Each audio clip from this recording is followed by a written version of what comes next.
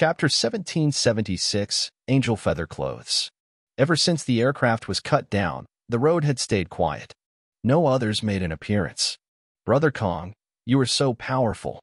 Of course you might be fearless, but we are merely ordinary men. If the feathers try to take us out, then I fear things might turn out poorly. Hansen spoke to Kong Fei as they walked. Kong Fei squinted his eyes and looked at Han Sen. Do you want me to take responsibility for you? It is not about you being irresponsible. We are not girls, after all. Hansen smiled, and then went on to say, We just want you to point out a trail we can follow.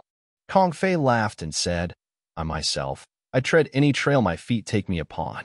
I don't follow any in particular.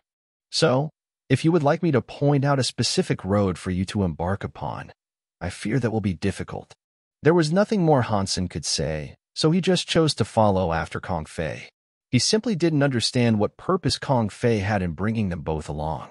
It would be exceedingly easy for Kong Fei to kill the pair if they displeased him. With such a difference in their power levels, Hansen was curious why Kong Fei wanted them to tag along. Hansen had even wondered if Kong Fei was one of the crystallizers. He very much looked like them. Mosi was 1,000 miles away from western Grant City. Kong Fei didn't want to take the train there.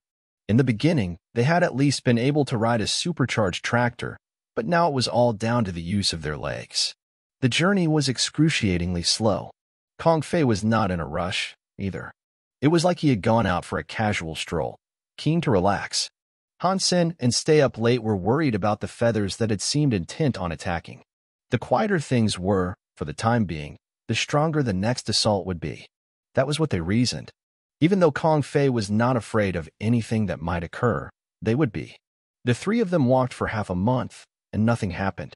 It looked as if the feathers had forgotten about the three of them. Kong Fei was pointing towards the fields and explaining things as if he was a professional tour guide.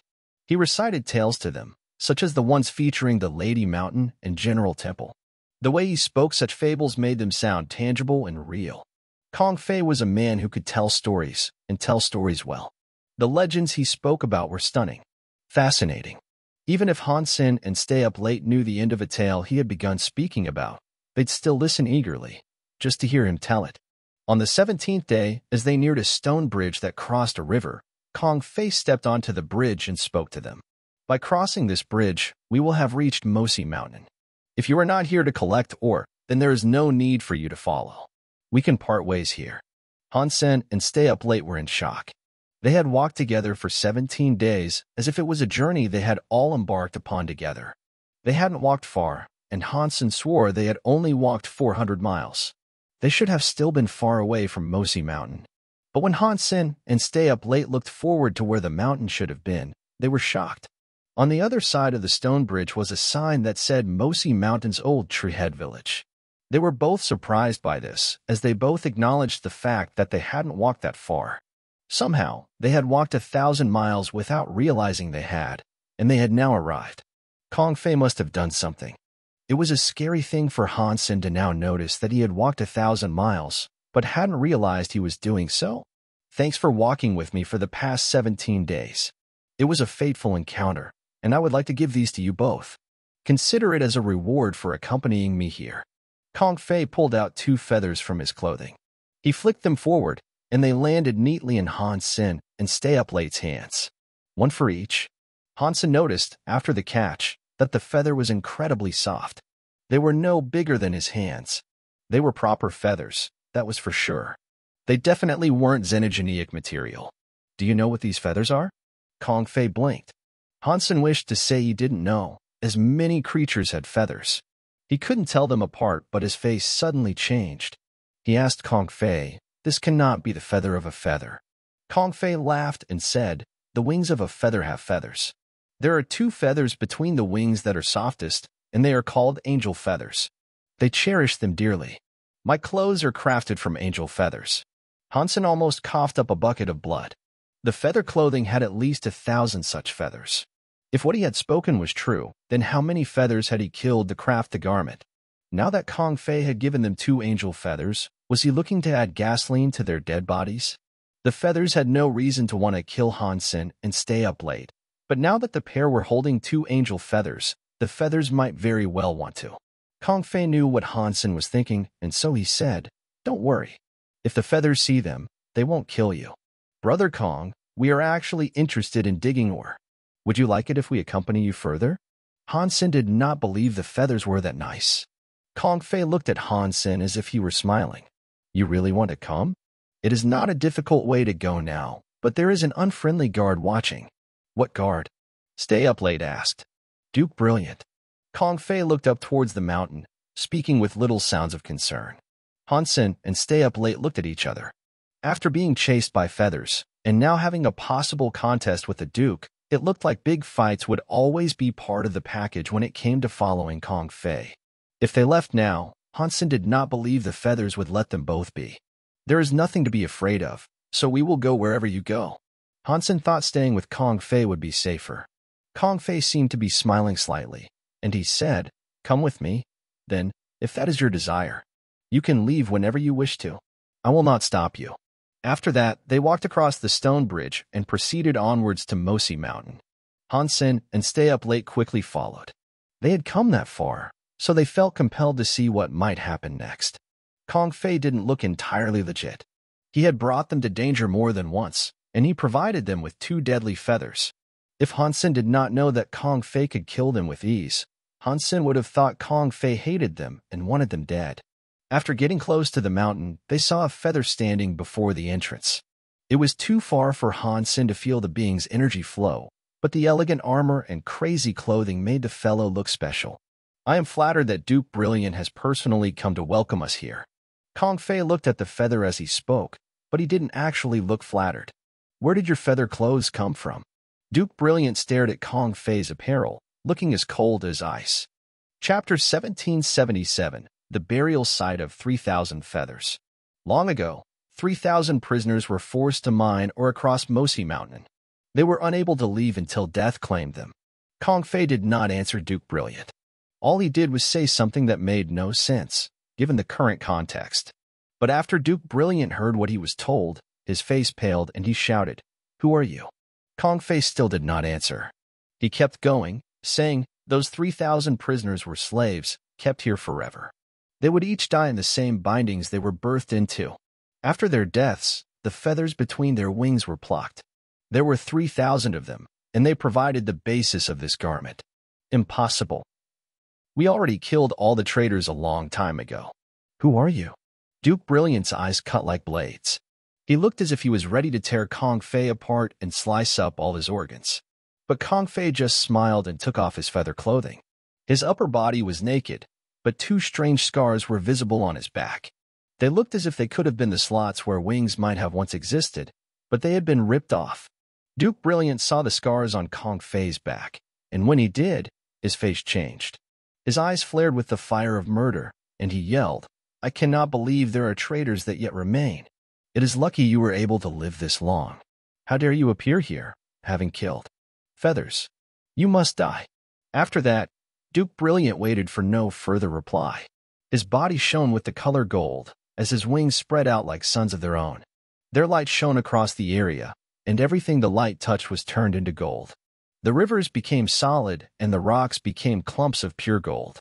The entire vicinity became its own world of gold. Duke Brilliant was most certainly the god of this world. Hansen and Stay Up Late were in shock. They knew that everything happening was very bad, and such scary powers would be difficult to fend off. And if they themselves were turned into gold, they'd be killed immediately. But before the gold light doused them, the white feathers Kong Fei had given them started glowing with a bright white light. The light was like a bubble that shielded their bodies from harm. The gold light was unable to penetrate the holy light, Kong Fei stood on the ground and put on his feather clothes again. He ignored the gold light, and with much disdain, told their enemy, of the 3,000, only I am left. But the 3,000 feathers are still here, and I will seek vengeance for each of them. A traitor speaks of justice? Duke Brilliant grunted. His wings flapped like gold suns, firing shockwaves through the atmosphere. Each time the wings flapped, Duke Brilliant became stronger. His body wasn't so big, but it did seem as if it was becoming larger. He was taking on the appearance of a statue as he stood there upon the mountain. Han Sen and Kong Fei were like ants before him. It was quite scary. In the homes of the powerful feather families, there were seven kings and a number of dukes watching the video relay of a satellite imaging system. They were watching what was happening on Mosi Mountain. When they saw the scars on Kong Fei's back, they were all shocked. King Sky King, the ruler, frowned and said, there were 3,000 feathers stuck in the mines of Mosi Mountain for their entire lifetime. They were all turned into dust, or so it was believed. How could one of them have survived? My king, they did become dust. We could not have been incorrect, and the king in those days confirmed this. There were no survivors. Unless, Song King stopped speaking there and did not continue. Unless what? King Sky King asked coldly. Unless one of them had a baby inside the gold mine without us knowing. That child might not have been counted amongst the 3,000.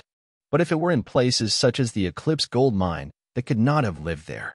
How could the prisoners have bred successfully? And if they did, the baby could not escape the eye of the watcher. It could not have survived and lived.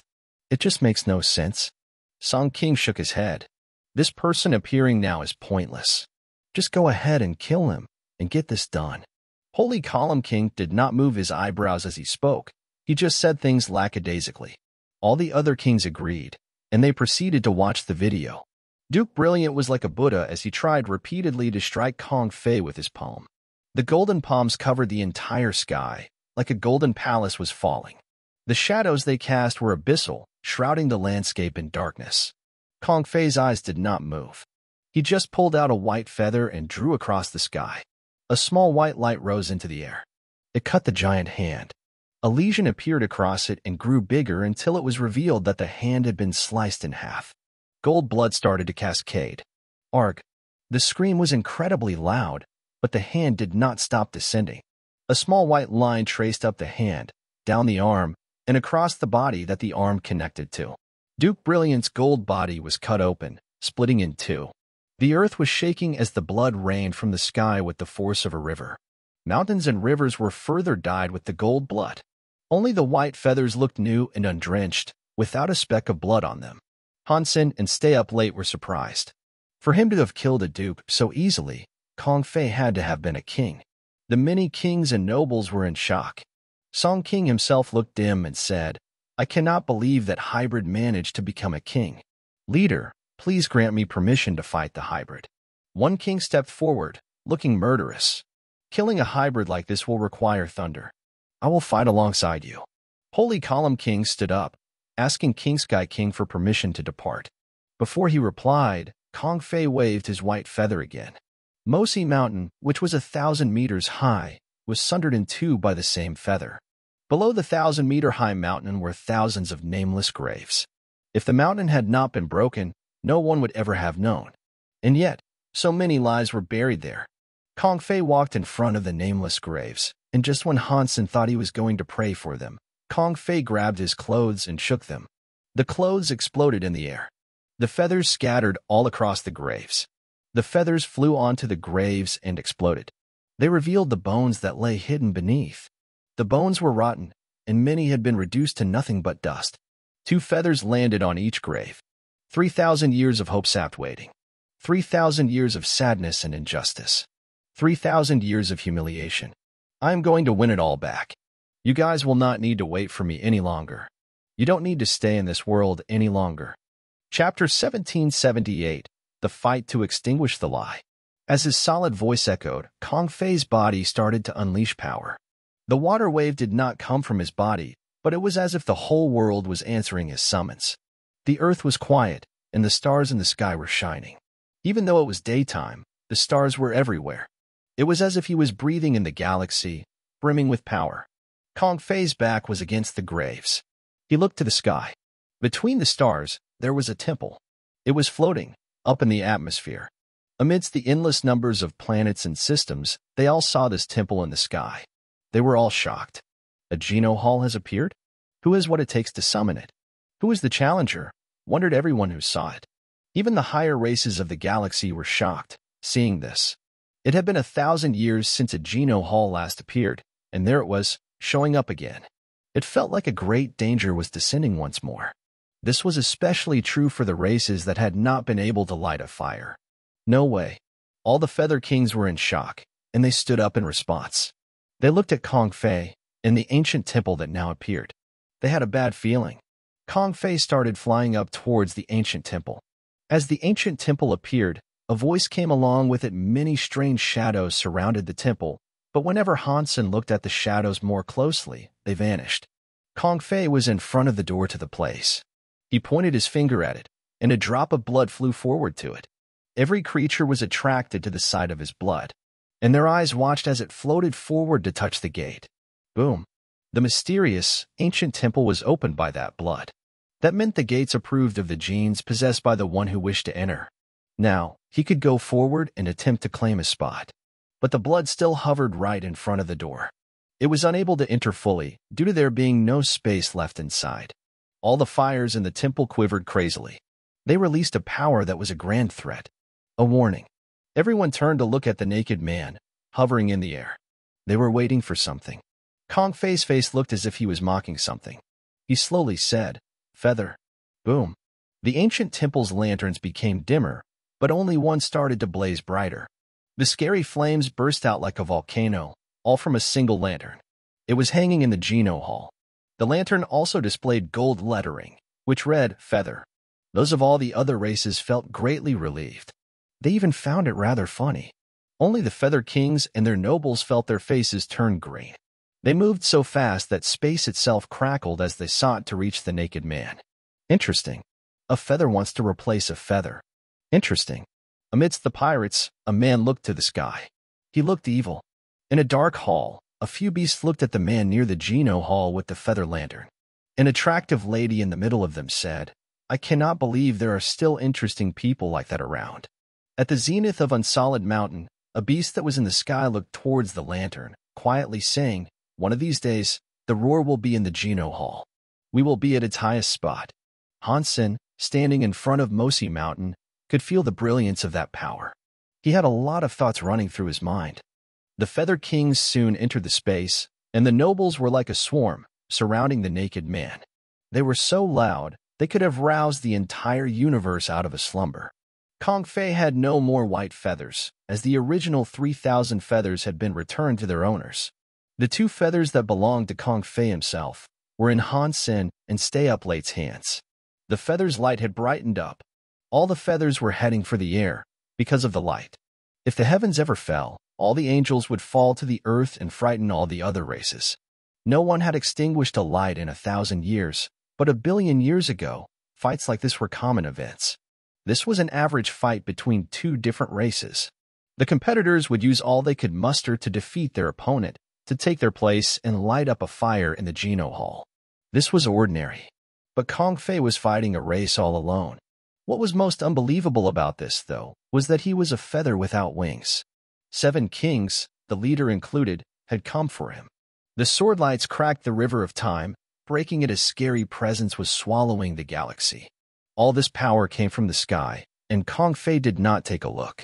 He only stared at the lantern, with the word feather on it. Seven feather kings, with the other feathers, landed on Kong Fei. But Kong Fei kept dodging as a weird light beamed through his muscles, skin, and hair. All that power came for him, but it didn't even brush his hair. It was all just like wind, rustling around him. Blurk. But the Feather King and the other nobles suddenly started to cough up blood. Many of the feathers were falling, and it was difficult to tell how many of the feathers had been killed. Their faces all looked pale, with plumes of feathers descending. God body. He became a god. Holy Column King screamed as he coughed up blood. He wasn't just a god for the feathers, this was for every race. Everyone was shocked, seeing this. Many people screamed just like Holy Column King did. They yelled, God body. Kong Fei, are you really not going to stop this? King Sky King wiped away his blood, looking at the man as he spoke. Death is the only thing that will stop me. Or your death, perhaps, Kong Fei said coldly. He then raised his right hand and swung it at the lantern. King Sky King angrily shouted, Protect our lantern. Millions of feathers, and King Sky King himself, roared in unison.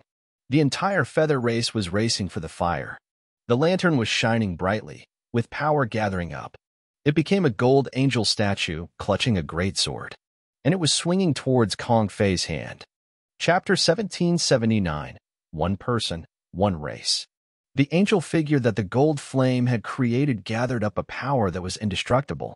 It looked as if it would only take one hit to destroy an entire galaxy. It could destroy the future. Many powerful races were thinking that the feathers were practically almighty. If the race wasn't strong, then the lantern wouldn't unleash a power that was as brilliant as that.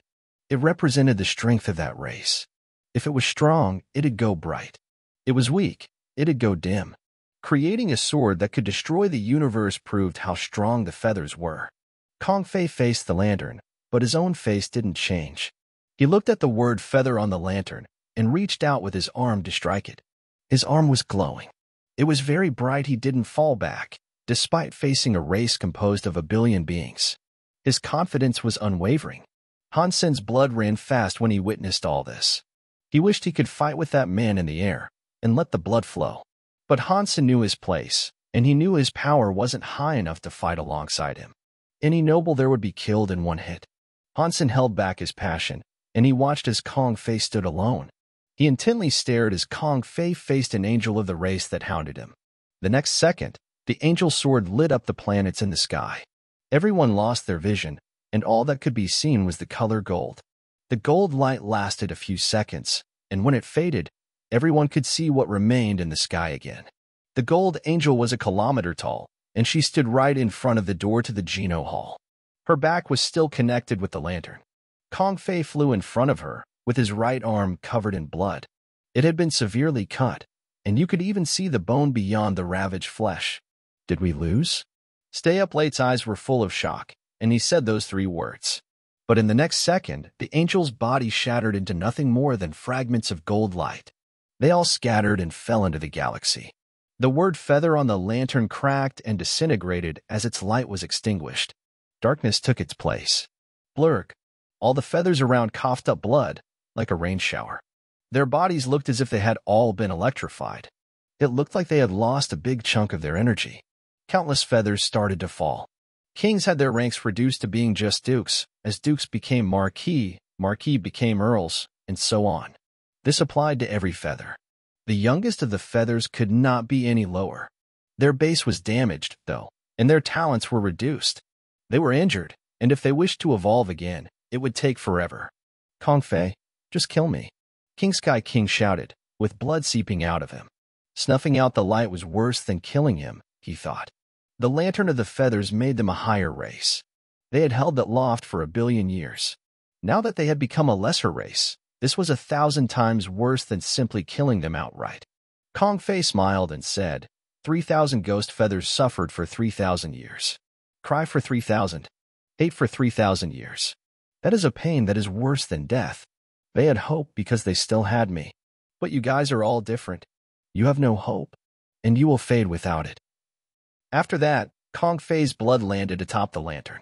A white fire appeared, lighting up the place. Kong Fei, you are a feather, too.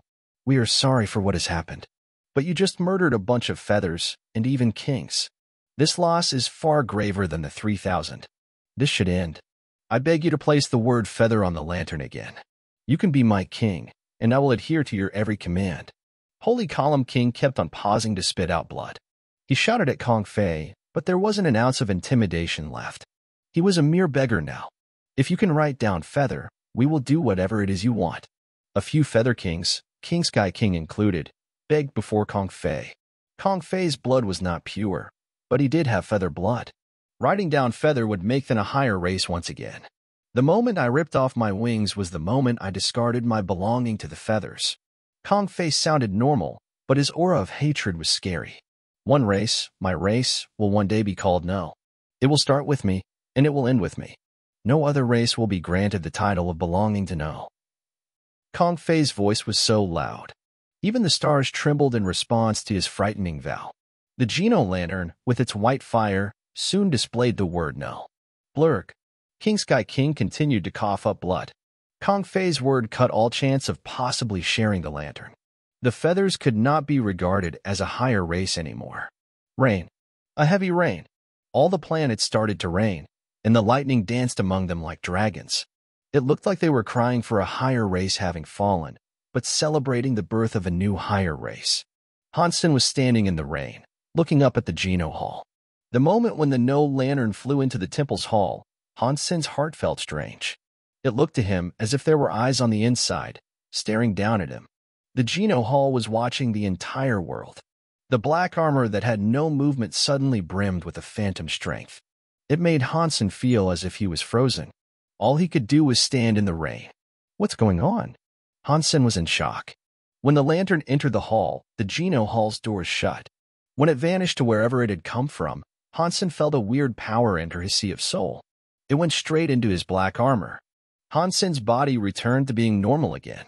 His black armor had no movement, and it was as if it was dead. Hansen looked to where the Geno Hall had disappeared, and his face looked confused. When the Geno Hall doors shut, that feeling slowly started to disappear and the black crystal armor's power only seemed to cover him during the time when it was open. This could not have been a coincidence. What is the black crystal armor? Is it like this because of me? What was that feeling of being watched? Is something living inside the Geno Hall? Hansen now had an endless list of questions, none of which he could currently figure out. The Spirit Hall left, and weird things no longer occurred on other planets. You could only see an empty sky returning now. The broken feathers, and Kong Fei himself, were gone from sight. Hansen was standing in the rain thinking. Then, a naked man suddenly approached him. It was Kong Fei, who had become a no all alone. Chapter 1780, One White Feather and 3,000 Stars. Kong Fei stood in front of Mosi Mountain, which had been sundered in two. He was standing in the rain, letting it drench his body. He stood there in solemn silence, without speaking a word. A while later, Kong Fei sighed and said, you guys have wanted to leave for all eternity. Even in death, you still wish to be free. I guess a burial is not what you're interested in. After that, he waved his hand. Inside the mountain, 3,000 graves unleashed a bright white light. Like a spring, bones burst out of the earth, headed for the skies. The bones melted in the air, becoming dust as they surged up through the atmosphere. They went up into space, disappearing amongst the stars. Quick and clean. That will save so much trouble. The only good thing about you guys was the fact you never caused trouble. Kong Fei looked up at the stars and smiled. But then, a glistening tear fell from his face. Hansen and Stay Up Late were standing a few paces away from him, speechless. A while later, Kong Fei smiled and spoke to Han Sen. Do you guys understand yet why I wanted you to accompany me? Hansen and Stay Up Late shook their heads. They didn't know. After all, why would Kong Fei choose them to come along for something so important? Hansen had initially thought that Kong Fei wanted to trick them, but he had realized by now that things weren't that simple. Kong Fei walked over to them and patted their shoulders. He said, I was found by a crystallizer, and that is how I escaped the fate of my people. I escaped the mine that none of the others could make it out from. I was helped by a crystallizer, and now you two appeared as a reminder. It's fate. It had to be. A crystallizer helped you escape? Who was he? Hansen and Stay Up Late were shocked. They couldn't believe that someone who had conquered a lantern would have a connection to the crystallizers. I don't know. He did not tell me, and I never saw him again. I do know that he was carrying a nine life cap pendant. Kong Fei was looking down at the feathers he had given to Han Sen and Stay Up Late. Take those as souvenirs. For as long as I live, they may prove useful, and those of higher races will definitely notice them. They're a gift, and they're yours now. You are free to do with them as you please. After that, Kong Fei left. He didn't walk away briskly, but he did disappear after a few meager steps. Just as Hansen was going to call for him to come back, he was gone. Nine life cap pendant? Who might that crystallizer be? Hansen wondered, as a number of thoughts now raced around his mind. This universe is big. It was a good idea to come here. Stay Up Late suddenly sighed. He had always been quiet and reserved, but now he was brimming with a vibrant passion. Hansen was not as sensitive as he was, though. For all intents and purposes, he was a realist. But even though there were many elites, that wouldn't quell his desire to train and improve. He wanted to see the world and everything in it. Let's go. We need to get out of here. Hansen pulled Stay Up Late back. Kong Fei had left with no warning. He didn't offer them a way back, and to add to that, they were a thousand miles away from Western Grand City. When Kong Fei was there, it was an easy trip. Without him, it most certainly wouldn't be. Hansen called out for Kong Fei so he could lead them back. God only knew what might happen to them if they traveled by themselves. When the pair reached the bridge they had crossed earlier, they saw someone standing there. The person was holding an umbrella, but due to the item's presence and the heavy rainfall, they couldn't make out who it was. But that person had a life force as powerful and bountiful as an entire galaxy. It was unfathomably large. Hansen and Stay Up Late stopped to look at him. And when they did, the person turned to look at them.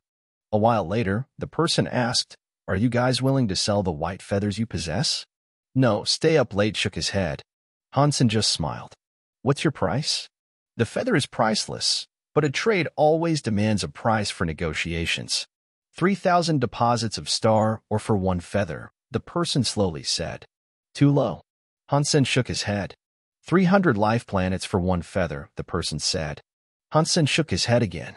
The enigmatic figure did not speak to him again. Instead, he turned to talk with Stay Up Late. If you enter my tribe, I can help you reinforce the white feather. After that, you can enjoy the treatment only my kind can provide. Stay Up Late shook his head, to which the person responded, do you have any idea what you'll be missing out on? Even if you do have a god feather, it's useless if no one refines it for you. I appreciate your intent, but I do not wish to join any tribe, Stay Up Late said. The man grunted, and when Han Sen turned to look at him, he had disappeared. It looked as if he had never been there at all. They kept walking and crossed the bridge. Not long after, a beast appeared near the river. It was so big, it looked like a mountain from a distance away. Are you selling that white feather? The beast asked, looking right at Hans Senator. Its voice was so loud, it almost destroyed Han Sen's eardrums. It all depends on the price fronted, Han Sen smiled. The beast grunted and said, the feather's lost. I will take on all of holy heaven in exchange for that feather. No, Han Sen was very tempted, but he had to shake his head. Holy heaven was a high-ranking xenogeneic space. Many treasures must reside there. There had to be countless xenogeneic materials. Even the feathers held that place incredibly dear. Through that, you could see how important it was. Even though the feathers had fallen, they had not been wiped out. Taking down Holy Heaven was still something no ordinary race could accomplish. The beast said he could swap Holy Heaven's existence for the feather, which was a massive prospect. But Han Sen was worried the beast might not have been serious. Still, if the beast wished to steal the white feather, Han Sen and Stay Up Late probably couldn't fight back. The beast looked at Han Sen as if he knew that Han Sen did not want to accept the trade, and instead spoke to Stay Up Late. Those of the beast area are willing to teach you. If you are willing to join us, I can teach you how to refine it. If you can become a king, I can give you 12 god seats. Chapter 1781 Meeting Old Cat Again Stay Up Late shook his head and bowed before the beast, apologizing. I appreciate the offer, but no thank you. The beast, hearing Stay Up Late reject the offer, stopped talking. He moved his body and flew up into space. He disappeared into the cosmos. Stay Up Late and Han Sen continued their travel, meeting many more powerful creatures as they went. They all wanted to buy the feathers or at least have the pair join their tribes. Each and every single offer was rejected by the duo, however. Han Sen felt depressed. All the elites sought to buy the white feather he possessed, but none invited him into their tribe. It seemed all such offers were exclusively reserved for stay up late. As they walked, they met five different race elites. After that, no more interrupted their journey. It was not as if no one else was interested in the white feathers. It was just that those five represented the biggest factions and had drummed up the biggest offerings. There was no point in any other races making an offer, as whatever they could muster would not be enough to rival the Big Five. The rain still hadn't stopped, after walking half a day, they found an abandoned house they could seek refuge and shelter in. But as soon as they entered, Han Sen's eyes opened wide. A beast that was red, that looked like both a fox and a cat, was lying across a crummy table. It was staring right at the two as they entered. Great. It's you, old cat, you asterisk shoal. How dare you show yourself to me again? I'm going to skin you alive. Han Sen was immediately enraged, and he threw a punch towards Old Cat's face. As the fish traveled, he yelled, Where's Little Flower? Old Cat teleported to the rafters in the ceiling, smiled, and said, Little Flower is being looked after very well. Do not worry. Don't worry, my asterisk SS. Bring me Little Flower. Han Sen jumped up and tried chasing after Old Cat. Old Cat was too quick, though, and he disappeared once again. When he appeared, he leaped atop the table again. Slowly, he went on to say, I took him away for his own benefit. It's good for him. You can't even look after yourself, so how do you think you could take care of Little Flower? How can you expect him to grow naturally? That is my family's business, not yours. Han Sen kept on chasing after Old Cat as he spoke. Old Cat's body kept flashing as Han Sen's fist kept failing to touch him. Haha. I felt sorry to see someone so special and great have their potential buried. Now, he is living well. Perhaps it'll only take another eight years before he becomes a king. There's every chance he could become a god. He could become a deity like Kong Fei did. You are a father. You should support what's best for him. You shouldn't limit his potential and hold him back. Old Cat was obviously trying to convince Hans Sr. I will take care of my own son. You better give him back, or I'll skin you alive right here. Han Sen angrily said, Little Flower cannot come back just yet, but I can show you this. Old Cat threw an item at Hans Sr. Han Sen had a look and noticed it was a communicator. There was a video feed already linked, and on it, he could see Little Flower. Anime, I really can't eat anymore. Can you help me eat this fruit? Han Sen put off his idea of killing Old Cat and held the communicator close. He stared at Little Flower intently. That was mainly because he knew his abilities were actually worse than Old Cat's. Killing the cat would be impossible with his current strength. Thus, the continued chase was pointless. The video was obviously a series of snippets, with many sequences that had been trimmed and stuffed together to give Han Sen a picture of what day-to-day -day life was like for his son. Little Flower was definitely eating a lot each day, and a beautiful woman and three monsters took their time to train with the boy diligently. Han Sen could tell they were teaching Little Flower some skills, and that Little Flower was improving quickly. Each day, his abilities grew. How does that look? If you kept Little Flower close to you, he wouldn't benefit from any of this. He wouldn't get the training and strength he needs. You should be thanking me. Old Cat spoke with a cocky tone. To hell with thanking you. I am warning you, right now. Give me Little Flower. Otherwise, I'm not done with you. Han Sen, still looking at the video, threw a punch towards Old Cat. Han Sen really hated what Old Cat had done, and he could only catch a glimpse of his son through the video. He wanted his son next to him, and nowhere else. Why can't you just be nice? Old Cat looked depressed. Could you stop swinging for a minute? I have come here to discuss serious business. Old Cat kept dodging as he said, Little Flower wants to learn sword skills. He needs a short sword, and that feather can craft one that is perfect for him. F asterisk CKU. Han Sen didn't wait until Old Cat finished talking before trying to punch him again. Han Sen knew the asterisk souls wouldn't just give him the video out of kindness. All Old Cat wanted was Kong Fei's feather. Stay up late said, Old Cat, if you take me to see Little Flower, I will give you the feather. When he said that, Old Cat and Han Sen were both shocked. The five elites had offered so many deals, and yet Stay Up Late hadn't spared a second thought of accepting any. Now, to see Little Flower, he was willing to give up the priceless feather. It was an extremely touching moment. Old Cat shouted, See? This is what you call a real man. And who are you? A father, supposedly. After that, Old Cat walked up to stay up late and smiled. It's not that I do not wish to take you, but ordinary people. When they go there, they cannot survive. I wouldn't have brought Little Flower if I didn't know he was special. So, how about you just give me the feather, and I will pass it along to Little Flower.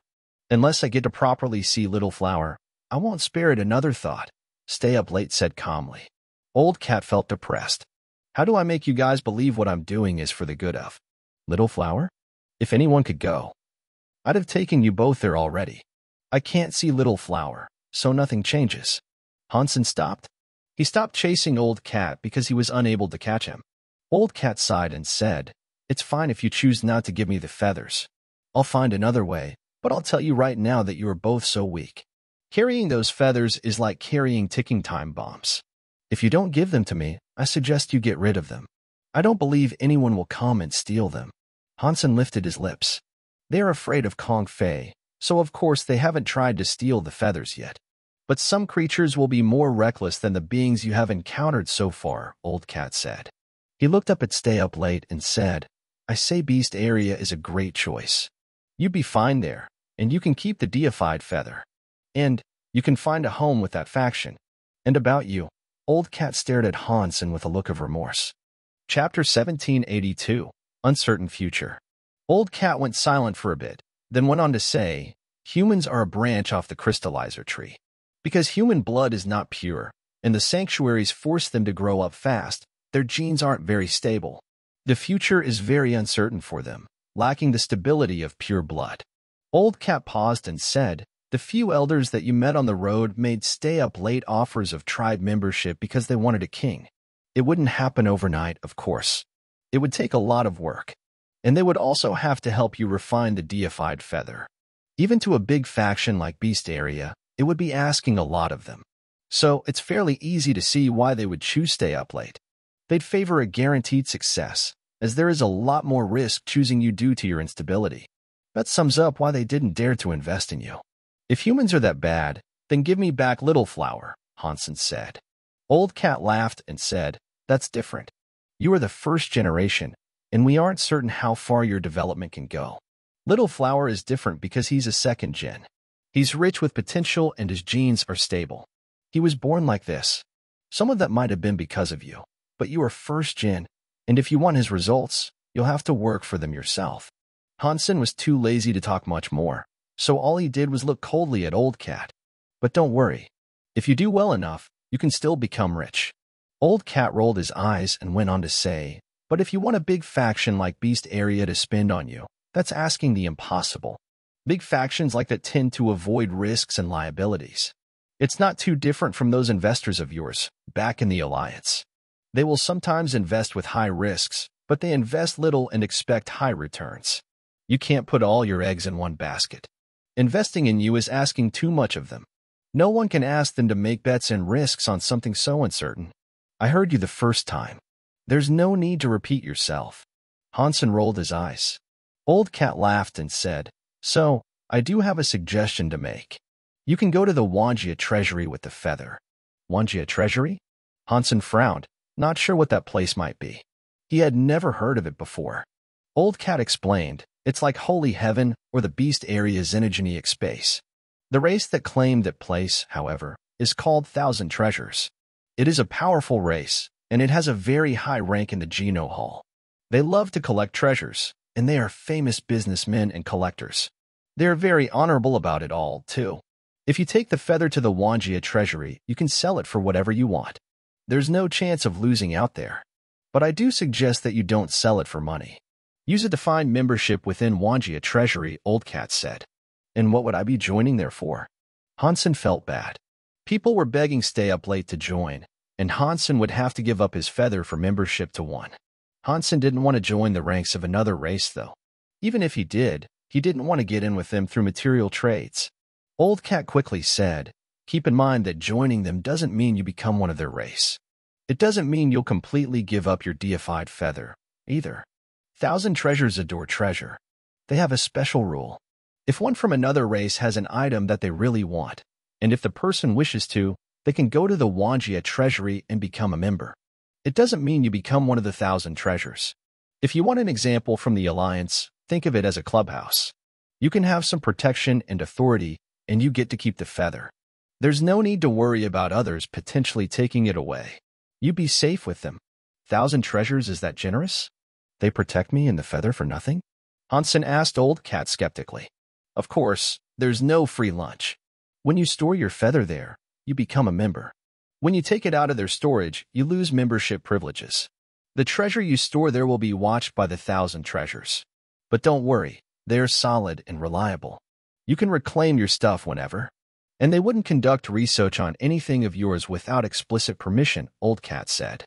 Seeing Han Sen remain silent, he continued and said, the feathers were just beaten by a lower race. Their power has been lessened. A planet like Planet Kate, that was previously enslaved by the feathers, might find itself in a bit of a mess. So, I advise that you leave and attend to what you need to do. There is a way to contact the Beast area in the Wanjia Treasury. And if you do contact them, they are bound to come and pick you up. Think about it, kid. The Beast area is good. It is better to join them and level up through them than to do everything by yourself, Old Cat said to stay up late. After that, Old Cat disappeared. Han Sen called out to him, but he was already gone. Han Sen was very excited to take the video back to the sanctuary, and when he went back, he showed Little Flower to Ji Yin and, and his mother. They felt much safer, learning Little Flower was somewhat safe. There was no need for them to worry. But they only felt a little bit better. They wouldn't feel completely safe until Little Flower was back with them. After Han Sen returned to the abandoned room, he spoke to stay up late about what they should do next. Although Old Cat often had dubious intentions, in this case, he was right. Planet Kate would descend into chaos, and it was best that they form a game plan. After a while, Stay Up Late told Han Sen, I want to go to the Wanjia treasury. Han Sen thought that it was a good idea, as it at least comforted him to know that no one would fight for the treasure there. The treasure could only be accessed by the person who put it in. That sounded pretty great. Han Sen wasn't planning on going there, though. The offer sounded good, coming from Old Cat's mouth, but perhaps a little bit of chaos would be good for him. He was planning on staying on Planet Kate. Han Sen was surprised Stay Up Late had decided not to join up with Beast Area. But Stay Up Late didn't say why he had made the decision he had, and Han Sen wasn't going to ask. Next, they used the number Old Cat gave them to call the Wanjia Treasury. After the call, someone flew an aircraft over to pick up Stay Up Late. Because Han Sen and Stay Up Late each possessed a deified feather, everyone knew. Thousand Treasures knew, too. All they did was look at the feather on the return to the Wanjia Treasury. Before leaving, Stay Up Late told Han Sen he would resume his search for Little Flower. If he learned anything new, he'd give Han Sen a shout. Han Sen was touched that Stay Up Late was that nice to Little Flower. But it was something that Stay Up Late considered to be his duty. He thought he had failed before, and that finding Little Flower now should be his ultimate goal. Chapter 1783 Picking Up the Treasure After Stay Up Late was gone, Han Sen went back to Grand City by his lonesome. He walked for half a day, and then he saw many ships soaring through the atmosphere. He also heard many explosions. Planet Kate really is in a mess. I hope Chiao, Lancet, and Mr. Tiger are okay, Han Sen thought to himself. Han Sen quickened his pace until he reached a smaller city. He wanted to find a public transport service to take him back quickly. But unfortunately, that city was also in chaos. There had been a fight at the train station, resulting in its destruction. And aside from that, there were no other means of public transport active. So, Han Sen sought to leave town. He was stopped by a group of creatures before he could, though. Friend, let us walk together. The leader smiled at Hans Sr. Why would I follow you lot? Han Sen looked at them and noticed that looked almost like the centaurs of ancient myth. Their upper bodies were human, but their lower bodies were those of bulls instead of horses. Do not misunderstand our intent. We are not hostile, and we merely wish to establish friendships. If you would like, you can visit our place for a while. We don't want to hurt you while we attack Planet Kate. The leading centaur laughed. Thanks, but I can take care of myself, so don't worry about me. Han Sen walked around them with the obvious intent of leaving. They may have said that they wanted to keep him safe, but who knew how their intent might turn later on? Han Sen did not think Kong Fei's name would make him invulnerable. The centaurs had to be after the feather, he wagered. Please come with us, and do not make things difficult. The leading centaur waved a command, and a dozen centaurs swooped forward to halt Han Sen's departure. Two centaurs were directly in front of Hans Senator. They tried to grab him. So we're playing hardball, huh? Han Sen thought. So Han Sen moved his legs like the wind and evaded them both. He shot away through the residential district, leaving billows of dust behind him. Don't let him escape. The leading centaur shouted as the rest of the centaurs gave chase. Han Sen was not afraid of a stampede, and he was able to use his Dongshin movements to effectively bob and weave through the streets. The centaurs kept on chasing for quite a while, but they eventually lost sight of him. Han Sen emerged from a ruined building. He put on his Dong Shin armor. The armor made his presence seem much different than it did in his simple spell armor. He was planning to escape the city from its other end. But before he could, he saw an old airship docking there. Minnie Kate and others were queuing there. Brother, are you a noble of the Kate? When Han Sen walked past the ship, a Kate approached and asked him politely. Kind of. What is it? Han Sen said. You know the feathers are no longer protecting the planet, right? It has led to Planet Kate descending into chaos. We are being invaded. We are from Seven Mirrors, and we are looking to recruit members. We are in dire search of brothers like you. If you join us, you will receive great treatment. You will not have to suffer in the midst of war, the Kate said, as if his offer was something sublime. After a while, Han Sen understood what was going on. Seven Mirrors was a higher race, like the Feathers. There weren't many of them, though, and they already had a planet to manage. So they were happy to welcome outsiders to join them. After the feathers fell, Seven Mirrors sent members to begin recruiting from the planet owned by Holy Heaven. Hearing of the conditions and the treatment he would receive, and the way they seemed to do things, Han Sen was tempted to join. The reason Han Sen was tempted, though, was because after recruiting here, they'd venture to another city to try their luck. Grand City would be on their list of destinations. Han Sen thought having a free ride wouldn't be too bad. It'd be better than walking there. At least, I'll have a look and check it out. I won't guarantee I'll join, though, Han Sen said to the recruiter. Sure, you should take a look first, but I assure you, you won't regret this. The Kate sounded very passionate about all this. He led Han Sen on board the airship, going on to say, But there is a test you must undergo. It's a rule of ours. And don't worry about it too much, as the results don't mean much. The Kate brought Hans into the ship. He didn't have to take the test with the other Kate, and he was taken to a special lobby for it.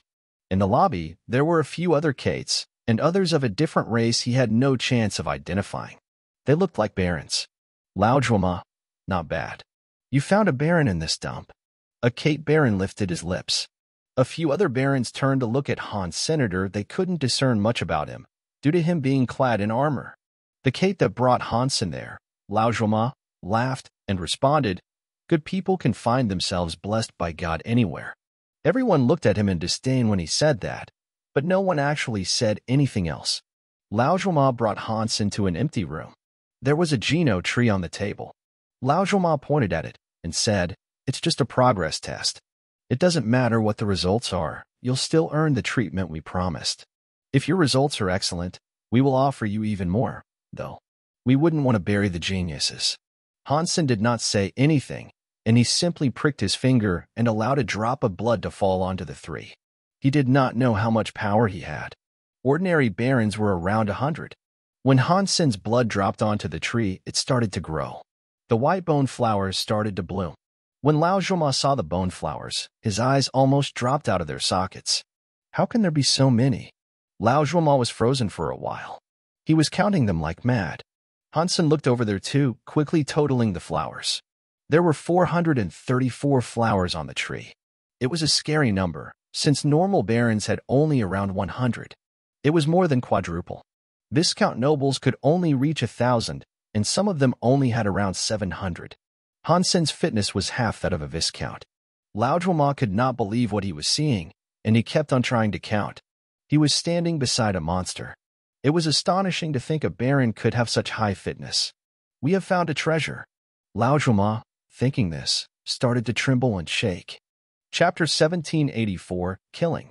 Say, brother friend, are you from a higher race? Laudremont was going to call Han Sen brother, but it wasn't appropriate. So he called him friend. Lao Zhuoma thought Han Sen was from a higher race, because normal barons should never reach that sort of level. It didn't matter how much they practiced, they just couldn't. On the form, didn't I tell you I was human? Han Sen acted like he didn't understand what he was being asked. Yes, you did. Lao Zhuoma felt disheartened, as he had never heard of a human before, and he knew there was no higher race called that. Lao Zhuoma still felt depressed, and without saying much, he told Han Sen, Dollar, you will have to wait a few days on this airship. But going to Seven Mirrors won't take long once we depart. That's okay. I greatly enjoy traveling, Han Sen said. Laudroma gave Han Sen a room to live in, but without anything to do, Han Sen found himself going up on deck. Many refugees wished to board the airship and go to Seven Mirrors. Going to an underdeveloped planet was better than remaining in a war zone, or so they felt. But Seven Mirrors wasn't willing to take just anybody. The nobles were always favored, which made it difficult for commoners to be accepted. Seven Mirrors was not a charity, and they were only going to take those who could prove themselves useful. The old, sick, or injured weren't allowed on board. What race do you belong to? You don't look like you're from Planet Kate, a Baron Kate asked. He had come forward to check Han Sen out. Human, Han Sen answered. I have never heard of them, so I can only assume they're even smaller than the Kate. The Baron wasn't insulting Han Sen. He was mocking himself, more than anything. Han Sen looked at him and asked, What can I do for you? I am Mike. The Baron introduced himself and then said, So, we've been recruited by Seven Mirrors and we're headed to an underdeveloped planet for work? If you want, why don't we go to the same place and partner up? I still haven't decided if I want to go yet. Han Sen did not reply. Mike shook his head. When the fighting starts, it's not only the common folk that will be in grave danger. The barons will be, too. Land reclamation is hard, but it is still better than war. So, why the hesitation? We'll see. Han Sen didn't much care for what he was being told. Han Sen had spoken to Chiao, and he was able to confirm that war had not yet reached Grand City. Xiao and Lan Se were thinking of ways they could escape and where they could go, but they had so far been unable to reach a decision. Han Sen told them about Seven Mirrors recruiting, and they told him they might consider it. They talk about it in greater depth once they were all together again. The third master had evacuated from Planet Kate with Mr. Tiger, and they extended an invite for Han Sen to join them at another headquarters of the Black Gold Group. It was an offer Han Sen quickly rejected, though. Mike wished to say something more to Hans Sound, but something occurred down below. They both looked down and saw a legion of centaurs in front of the airship. They surrounded the people who were waiting for a chance to conduct the test in the hopes of boarding the airship. Lao Zhuma quickly went down to meet the centaurs, though. He smiled and said, Taurus, please do not misunderstand. We are from Seven Mirrors, and we are friends, not enemies. After that, Lao Zhuama pointed at the Seven Mirrors emblem on the ship. The leading centaur recognized it. In fact, it was the reason that the centaurs had taken action. The centaur, seeing the seven mirrors symbol, looked at Lao Zhuoma and coldly said, We don't care about seven mirrors. Kill all these Kate. The centaur warriors lifted their spears to kill the Kate that had been lining up.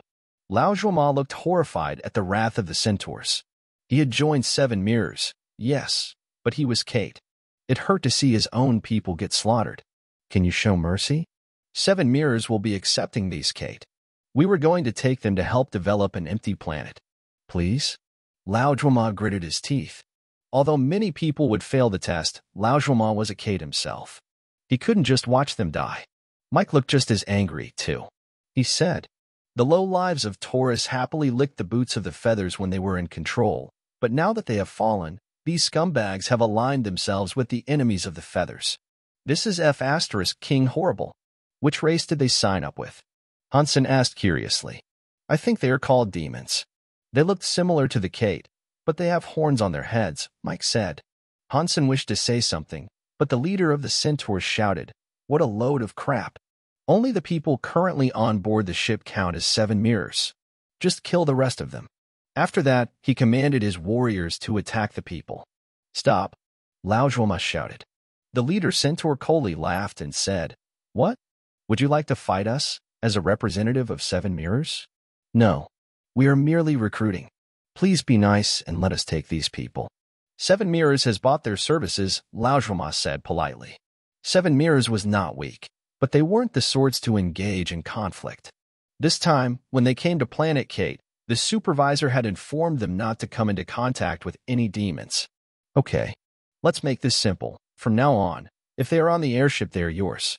If they cannot get on board, then I am sorry. After the Centaur leader said that, he gestured with his hands for his soldiers to rush forward. Lao didn't fight, he just shouted at the people, saying, Get on the ship. Hurry. Animal. Mike shouted down from atop the ship. Why are they killing them? Don't they need people to develop Planet Kate, too? Han Sen asked with a frown. Mike coldly said, Taurus is a race that takes pleasure in killing. They have a grudge with the Kate, due to the Kate beating them once before. Now they've got a clear chance. They aren't so willing to let us leave. There was some crying heard from the crowds as people tried to rush forward and get aboard the barge. The entryway was narrow, though, and if many more people boarded, it would overload the airship. The Centaur warriors thundered into the crowds, butchering merrily.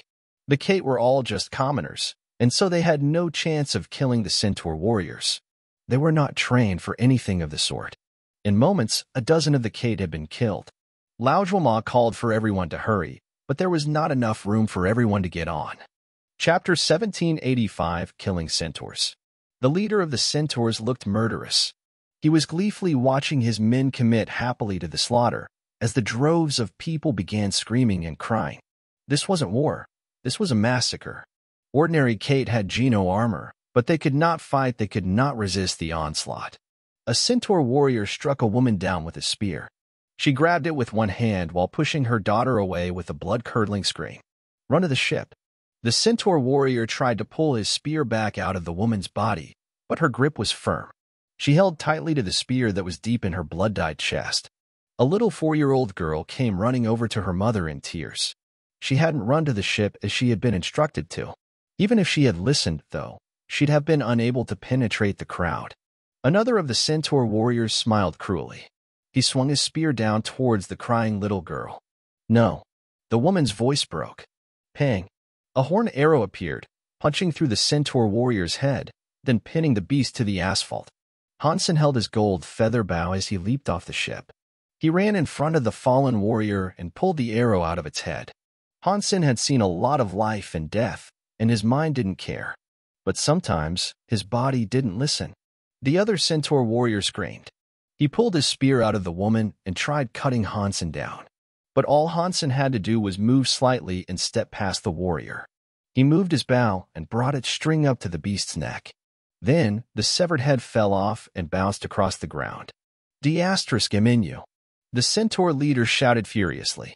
His muscles flared up as he suddenly chucked his giant spear. It crossed a few dozen meters, coming right at Han Sen. Hansen didn't even seem to look at the spear as he stepped around it. He pulled his gold feather bow and fired two horn arrows. Each arrow neatly punctured the head of a centaur.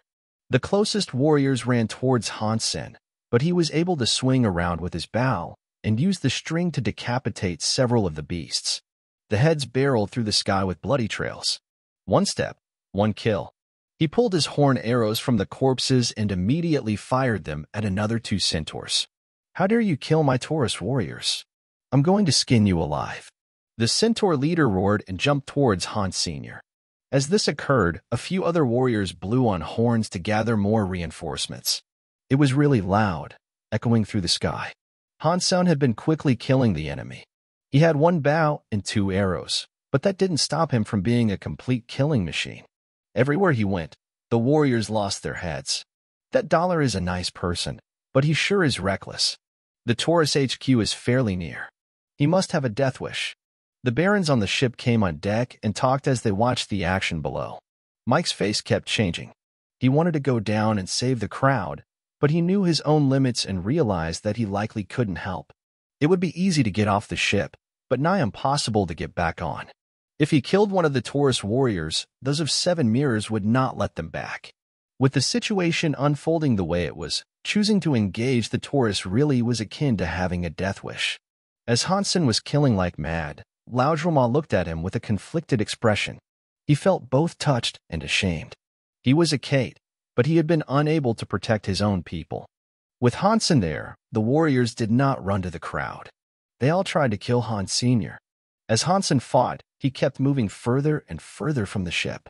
He knew it was pointless to kill the warriors, but he just wanted to buy some time for the Kate to get on the ship. The Centaur leader was finally in front of Hans Senator the Beast swung his spear, and it was most certainly stronger than what the other warriors could do. The leader was a baron, but Han Sen's face did not change.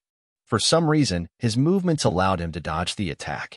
When he walked past the leader, the string took off the leader's head just like it had with the other warriors. The barons and Lao Zhuoma on the ship all sighed. The Taurus were very good at killing, and their barons were much greater than Cape barons. Watching Han Sen cut off the leader's head was quite scary. This guy is so strong. He said that he's a human? What is that race? Is it a higher race? A baron asked in shock. It is a shame. If he was allowed to live, he might have been able to do a whole lot more. But he is too reckless. Another baron shook his head. As this occurred, a flurry of footsteps was rushing Han Sen's way. A centaur warrior was coming, but it was twice as big as the average centaur. It was also clad in metal armor. The four legs could cross a dozen meters in one step. It was different from the spear-wielding warriors, and it was holding a two-meter-long greatsword. Despite that, it carried the sword lightly, like it wasn't heavy at all. But seeing the texture of the blade, it was obvious that the sword was made from heavy steel. There was no way it was actually light. Oh no. This is a Taurus greatsword wielding Viscount. It is a really high rank amongst the Viscounts. He is so strong, and he can wield the element of fire to incinerate foes, explained a Baron on deck. I hope he can hold out a bit longer. Since he is going to die anyway, holding out another few minutes will allow a few more Kate to get on. Another of the Baron's side. Han Sen saw the great sword centaur coming, but he still remained oh so calm. It wasn't as if he hadn't killed a Viscount before. He had already killed three of them, after all. He kept moving forward, trying to lure the warriors away from the ship. When the great sword-wielding centaur got close, Han Sen sped up a little more. The creature was only a hundred meters away. Die. The great sword-wielding centaur's feet were like thunder. It jumped a few dozen meters with the great sword swinging towards Han Sen's head. The steel suddenly blazed with red fire, radiating enough power to sunder a building. Chapter 1786 Angry Steel Army In a town in the north, the Taurus Viscount, whose name was Angry Steel, was looking at the image in front of him. He was watching the Seven Mirrors airship. Next to Angry Steel, there was a man. He had purple eyes and hair, horns, and white clothes. He too was watching the video stream. If Han Sen had seen that white-clothed man, he'd have been very shocked. And that was because the man looked like Ashura from the Alliance. Angry Steel looked glum. He was standing next to a master of the demon bloodline, and Angry Steel had been wanting to show off the Angry Steel Army's power. He wanted to impress the demon and perhaps be considered for placement as one of the higher races. But before he could show the man anything, this unfortunate event had transpired. Killing the Kate people was not the mistake. The biggest mistake was for so many warriors, Baron Leader included, to be ruthlessly murdered by another Baron. It all happened so swiftly, it was embarrassing. Mr. Viscount, Taurus warriors do seem to be a little special, as you have been keen to express. Many of them surrounded a baron, and all of them were haplessly murdered. They don't look strong, I'll tell you that much. Next to the demon master, there was a woman with two horns. But her horns were golden, and they were different from the master's horns. Angry Steel Viscount lowered his head to the master and said, I am sorry, Mr. G. It was me merely being useless. Mr. G shook his head and said, that person is a baron, but he is good. This isn't entirely your fault. Order your ten captains to go there and keep him busy. Angry Steel Viscount quickly said, My best captain, Great Sword Viscount, is already there. He can kill the person with ease. Mr. G looked at the video but did not speak. The Lady Demon sneered and said, Why are you talking so much crap? Are you really that stupid? We need ten of your captains to go, not just the single one. Angry Steel Viscount felt a little enraged by her chastisement, but he refrained from showing it he nodded and said, Yes, I will order all ten captains to go at once. Angry Steel Viscount thought Great Sword Viscount was enough to deal with the Mystic Baron, but he still gave the order to send everyone out there. Great Sword Viscount was already there, and he was running at Hans Senator Angry Steel Viscount thought to himself, if Mr. G says I have to do this, then I have to do this. I definitely don't want to upset him. But Greatsword Viscount can definitely kill that person. He doesn't need anyone else. It'll just be for show. Angry Steel Viscount watched the video feed confidently as Greatsword Viscount rushed straight at Hans Senator. Its powerful body had considerable momentum, and it was very shocking to witness. It was like the very planet was shaking. And in regards to his performance, Angry Steel Viscount was satisfied. Greatsword Viscount was not the strongest leader amongst Angry Steel Army, but he was most certainly the most intimidating one. Otherwise, Angry Steel wouldn't have selected him to become the top-ranked captain. Greatsword Viscount jumped a distance of a few dozen meters. A large flame enwreathed the greatsword he wielded. His strength and speed were perfect, and the sight of it was beautiful. This is it. Kill that Baron. Let Mr. G know that Angry Steel Army is strong angry Steel Viscount thought to himself. Mr. G was looking at Great Sword Viscount when he suddenly smiled. Lao Zhuoma looked pale. He was worried for Han Sen and the Kate that had not yet boarded the ship. The door was too narrow. There was a limit to how many people could get on board, all at the same time. Only half of the group had successfully made it inside the ship. The other half were still out in the open. There were mostly old people, women, and children outside now. Only a few young men were valiant enough to help them get in. If Han Sen was killed, the army would return to finish them all off, and the deaths would be many. Lao looked on strangely. Why Han Sen was fighting Great Sword Viscount was a mystery to him, and if he had decided to just evade the foe, he'd surely survive longer. He could have even run off. But Han Sen was heading towards Great Sword Viscount directly, with no thought of escaping. When the onlookers saw the great sword swinging down, they knew the blow would be something not even a steel airship could withstand. Han Sen did not move. His left hand held onto the gold feather bow as his right hand clutched the horn arrows. He pulled the string back as far as it could go, and he took aim at Great Sword Viscount. The bow was a weapon that exceeded expectations at range, but Great Sword Viscount was within melee distance of Hans Senator. The burning steel great sword was going to come against the bow, and Han Sen had yet to fire. Die.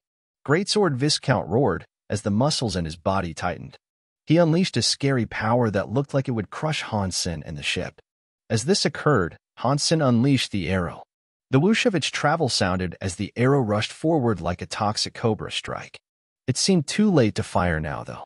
Greatsword Viscount's great sword was going to come into contact with the horn arrow, then probably carry on through to hit Han Sen.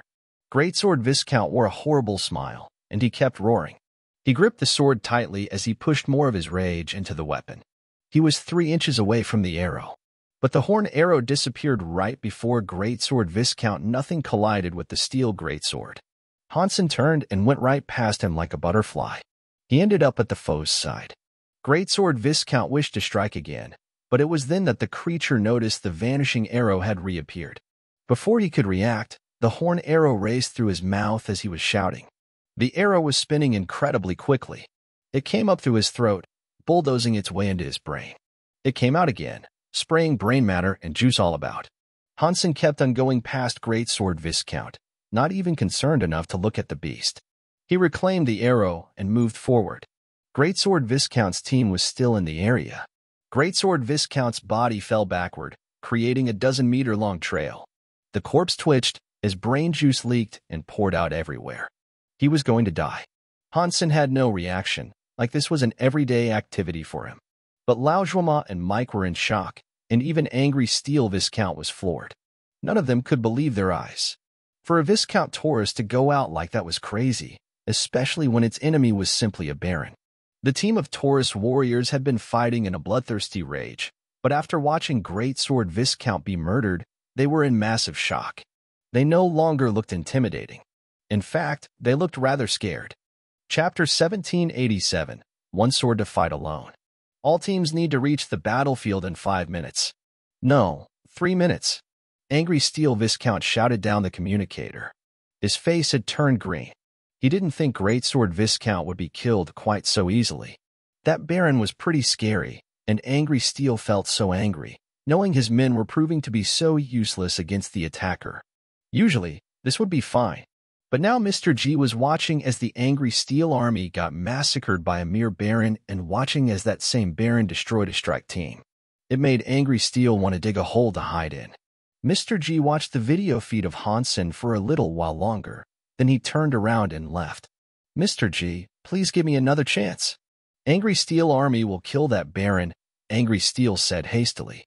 Keep him busy. Mr. G walked out of the camp. He was looking in the direction of the battlefield. The maid followed behind Mr. G, and as she walked, she said, Sir, he is just a baron.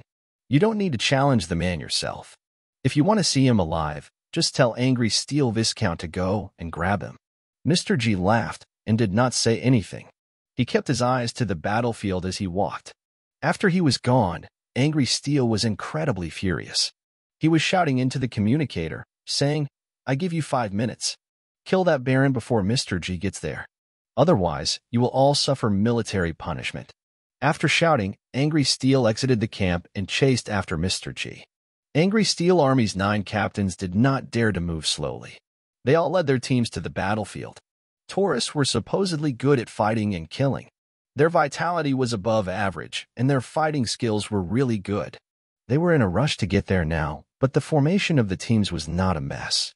With nine captains, they were all going to strike at once. Han Sen had already killed one strike team, and it didn't even seem to have slowed him down. Because there were too many of the centaurs, all racing to kill the innocents so quickly, he couldn't chase them away. He had no choice but to kill them.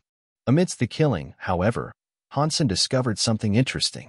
His Dongxuan armor could absorb power. Han Sen already knew that it gave him energy to fight nonstop, but now he was feeling something more in the energy flowing out of the armor. If the armor usually had one water tap providing energy, then he could now feel many more open faucets. Han Sen's life was stronger, and his power had increased. This increase happened after he dealt with the strike team. Does this mean the Dongxuan armor absorbs the power of the earth? Just like my coin Geno core could when I used collecting taxes. The more creatures there are around me, the more power I receive? Han Sen thought to himself. Han Sen soon received an answer to this. When the nine teams arrived, Han Sen felt his Dongxuan armor give a vastly greater surge of energy. This went beyond merely recovering the energy that he had lost. So it's true. Han Sen was quite happy about this discovery, but he didn't know if it was a result of his Dongxuan Sutra or his Dollar Geno core. This was not something Han Sen could ponder now, however. He had no time, a nine Taurus Viscounts headed his way. They all looked pretty past. Han Sen was merely a baron, and even with the Dongxuan armor's buff, he still wouldn't be quite as strong as a Viscount.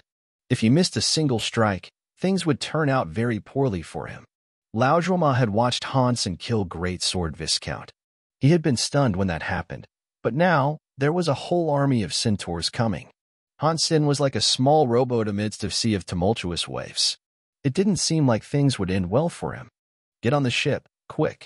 Zhuoma shouted distractedly at the Kate still trying to board the ship Mike had seen Han Sen fighting from the upper deck, and he watched with a complicated expression.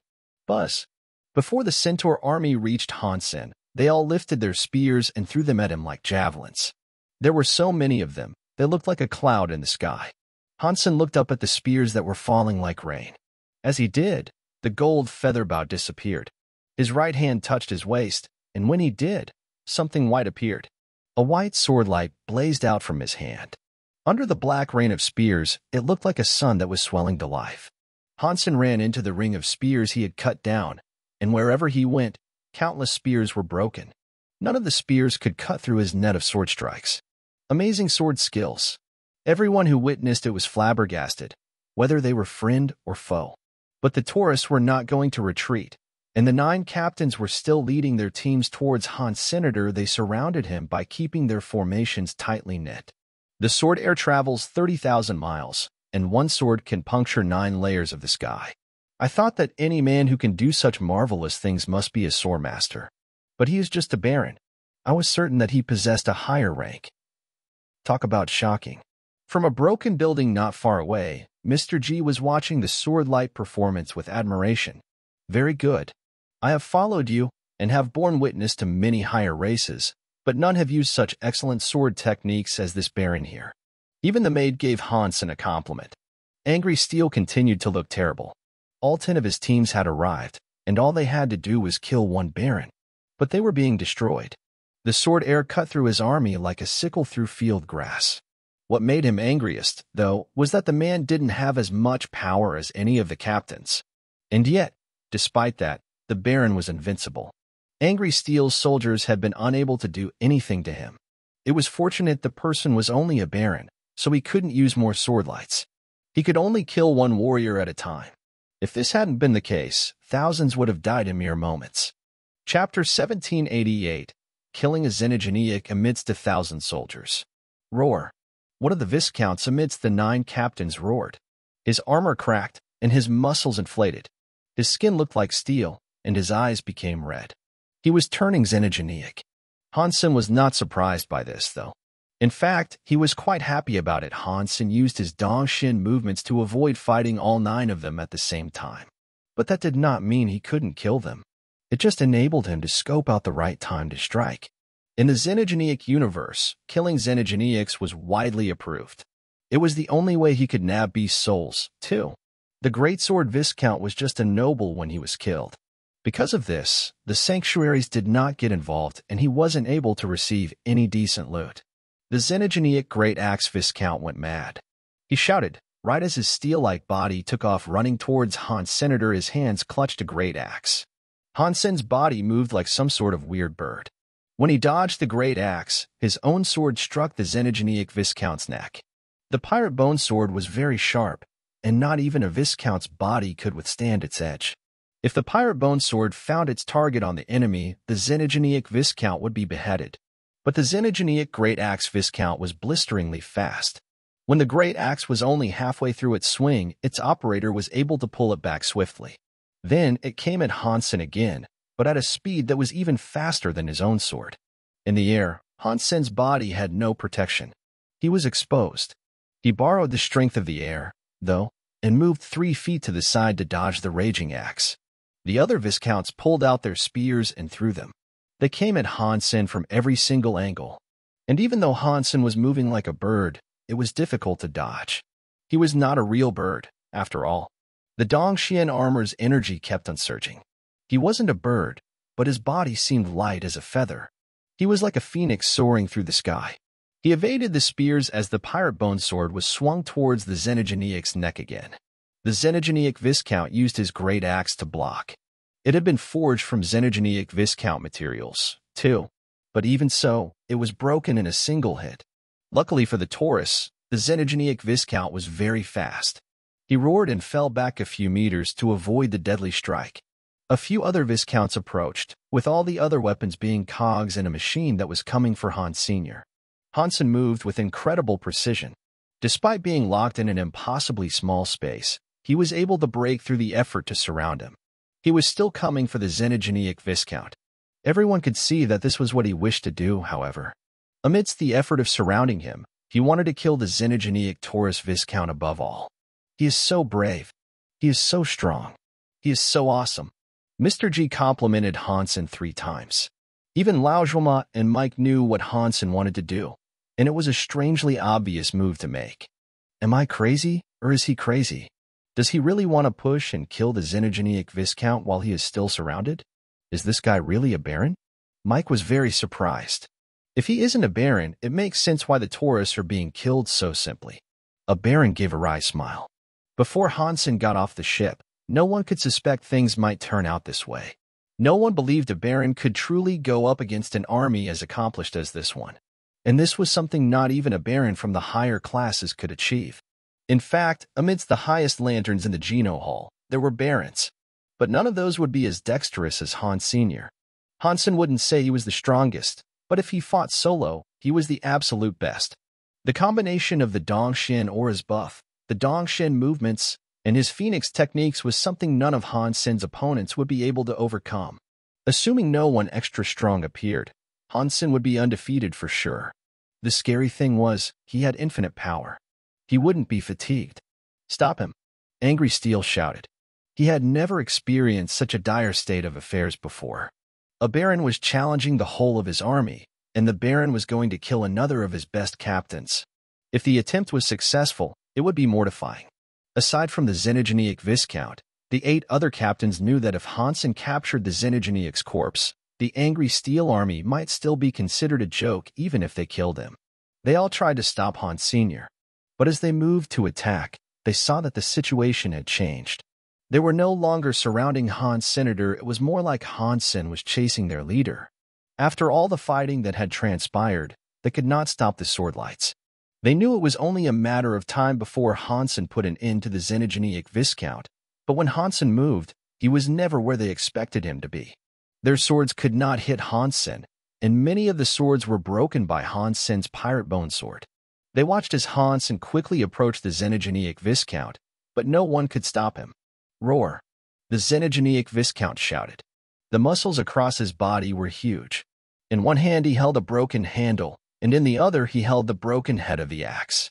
He was now running towards Han Sen. There were two Viscounts on the right and left, and there were two Viscounts behind Han Sen. But Han Sen looked so calm, and all he did was move quickly. He jumped up, and with a sword light, he spied an opportunity. He came out from the ring surrounding him, twisted his body, and slipped past the Xenogeneic Viscount.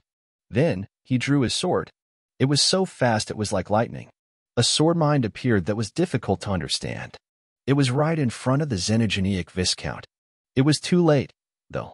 The Xenogeneic Viscount shouted and threw his weapons away. As his blood vessels almost burst he used both hands in an attempt to stop the pirate bone sword that was quickly approaching. Han Sen was not as strong as the Xenogeneic Viscount, and when his sword was grabbed, he couldn't push it onwards. Angry Steel and the Taurus warriors were all filled with happiness for a change. But the next second, their mood and color changed. The straight blade of the sword that the Xenogeneic Viscount had grabbed suddenly curved like a crescent moon. It created a weird angle, piercing into the Viscount's head. Chapter 1789 The Meeting of One Palm. The whole battleground was deadly silent. The hand that had grabbed the pirate bone sword was depleted of its strength. Blood seeped out the back of the Viscount's head, and he crumpled to the floor. Xenogeneic Viscount hunted. Xenogeneic gene found. Xenogeneic beast soul obtained. Steel Centaur. Han Sen was so happy about this. He had obtained another beast soul, but he was still in the middle of a fight. He couldn't take a time out to examine it just yet. Where did this guy come from? Mike and the other barons were frozen. They couldn't believe any of this. A baron was surrounded by the angry steel army. He had not been killed, and he had managed to kill a Xenogeneic Viscount. It beggared belief. After the Xenogeneic Viscount was killed, the morale of the angry Steel Army began to wane. The assassination was serious stuff. Seeing it really dealt a blow to their resolve. Angry Steel's face turned red. He was bursting with a scary flame. He bowed to Mr. G and said, Mr. G, I am going to kill that Baron myself. After that, Angry Steel Earl flew towards Han Sen. Although it was embarrassing for an Earl to be forced to kill a Baron, now was not the time to be concerned with it if he couldn't kill Han Sen now. It would be a tremendous loss for the angry Steel Army. He'd lose most of his reputation for sure. Everyone fall back, Mr. G said quietly. Angry Steel froze. He turned around and asked him, What did you say? Are you stupid? Or are your ears clogged?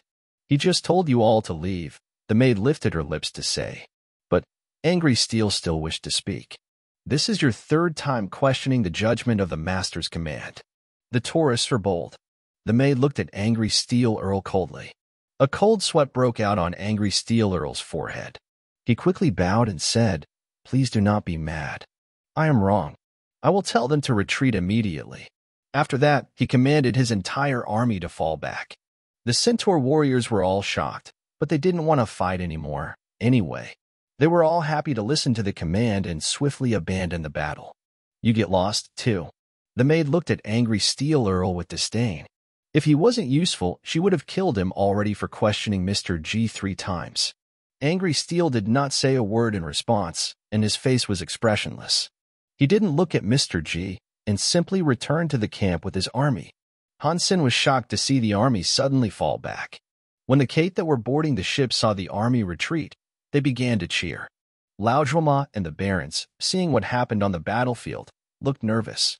They saw a shadow, Mr. G walked slowly onto the battlefield, along with the maid. Han Sen, seeing Mr. G and the maid, looked shocked. They looked like Shura. Mr. G walked in front of Han Sen and bowed before him, saying, I am a demon. My name is Luo G. May I ask what yours is? When Lao Laudremont and Mike saw Mr. G, their faces grew pale. They did not know who Mr. G was in particular, but they knew what the people of Demon looked like. Demon was one of the higher races, unlike the Taurus. Demon? Han Sen looked at Mr. G and then said, I'm human. The name's Dollar. Dollar? That's a good name. Luo G smiled, but he didn't care if it was a real or fake name. He continued on by saying, Dollar, you know that the Taurus are a subordinate race of ours? Yeah, Han Sen answered. It's good that you know that. I'm not going to bully you, though. If you aren't damaged by my palm, I will let you go. I promise you that no one will subsequently try to bring you harm, Mr. G coldly said. What if I don't accept? Han Sen asked. Han Sen knew that if Mr. G wanted him dead, the man wouldn't have spoken to him as much as he already had. He was here for something, and he wasn't planning on killing him. If you do not accept, you will have to help me deal with something. And after that, you will be free to go, Mr. G said. That sounds fair, but you aren't a baron. Han Sen lifted his lips. Mr. G laughed and said, I am a Viscount, but when I use my palm, I will gauge it to a level that rivals yours. If you find out I use more power than I should, consider it my defeat. Okay, that'll settle it, Han Sen agreed. Han Sen had just fought several Viscounts, but the demon Luoji was not like the Centaurs. He wasn't at the same level. Luoji did give Han Sen a sense of danger, though. Han Sen didn't want to be reckless, walking into this. But with what was being offered, it didn't make much sense to reject. If their levels were going to be balanced, Han Sen didn't think he'd have trouble dodging the palm. Luoji smiled and raised his right hand. His fingers were really long, and his skin was really pale. It looked like the hand of a young executioner. But when he lifted his hand fully, Han Sen's face changed. As his right hand was raised, it gathered up a weird power. It made no sound or sense, and normal people definitely wouldn't be able to feel it. But Han Sen was very familiar with this power. Many people had this power in his family, and he recognized it. The falsified Sky Sutra? Han Sen's heart jumped. He looked at Luo Ji's hand in shock. Without a shadow of a doubt, the man was using falsified sky powers, or the Shura version of those powers. He knew he wasn't wrong. When Mr. Ji heard Han Sen's voice, he laughed and said, This power hails from the annals of my race. It is Sky Demon Sutra. If you can block it, I will never bother you again. Han Sen wasn't familiar with the Sky Demon Sutra, but he knew it must be the same thing as falsified sky power. And Han Sen also knew why Luo Ji was so confident in his ability to hurt him. Falsified sky powers never missed, and no ordinary combatant could ever block them. After Mr. Ji said that, he put his hand in front of him. He swung it like an orchestrator with a baton. It looked rhythmic, and it didn't even look as if there was much power in it. Not many people could block falsified sky powers. If that man used Viscount power against Han Sen, he didn't think he could beat it, but Mr. G was using power that equated to Han Sen's level. It was the hubris of arrogance. Chapter 1790 Human Dollar Han Sen lifted his own palm as he faced off against Mr. G. The maid behind Mr. G smiled and looked on with disdain. She thought to herself, this person is arrogant. He thinks he is so great just for killing a few centaurs. He's actually using his own palm against the master, Pa. How dare he think he can compete with the Sky Demon Sutra? As she thought this, both palms collided. And because the power was equalized, they were both sent reeling back. Han Sen knew this would happen, but Mr. G wasn't prepared. It looked as if he couldn't believe it. The maid's eyes and mouth opened wide, and she screamed. How is that possible? Do you still mean what you said? Han Sen calmly asked Mr. G. That calm was only on the surface, though. After that strike, he knew he had just gone up against falsified sky powers. Does Demon have a connection to the Shura? Is Demon a race formed by the Shura in the Geno universe? Or are the Shura a part of Demon, perhaps? Hansen Sen mulled potential answers for these questions over and over. It was difficult to say. Mr. G wore a conflicted expression, and he said, I spoke the truth. You can leave, and no trouble will pursue you when you depart. After that, Mr. G said, and if you are willing to, we can make a trade. If you succeed, not only will trouble not follow you today, but you will never have trouble on planet Kate ever again. Furthermore, you will be granted a fine reward. What sort of trade? Han Sen asked, looking at Mr. G. The implications were clear. Mr. G wouldn't touch Han Sen for one day, but unless Han Sen got on that airship, he couldn't run very far. Demon would control the entirety of Planet Kate soon. If Han Sen didn't want to get killed, he'd have to make this trade. Han Sen was not afraid of being chased, but he wanted to at least hear what the terms might be. Han Sen was also interested in learning why those of Demon were able to make use of falsified sky powers, and why they looked so similar to the Shura.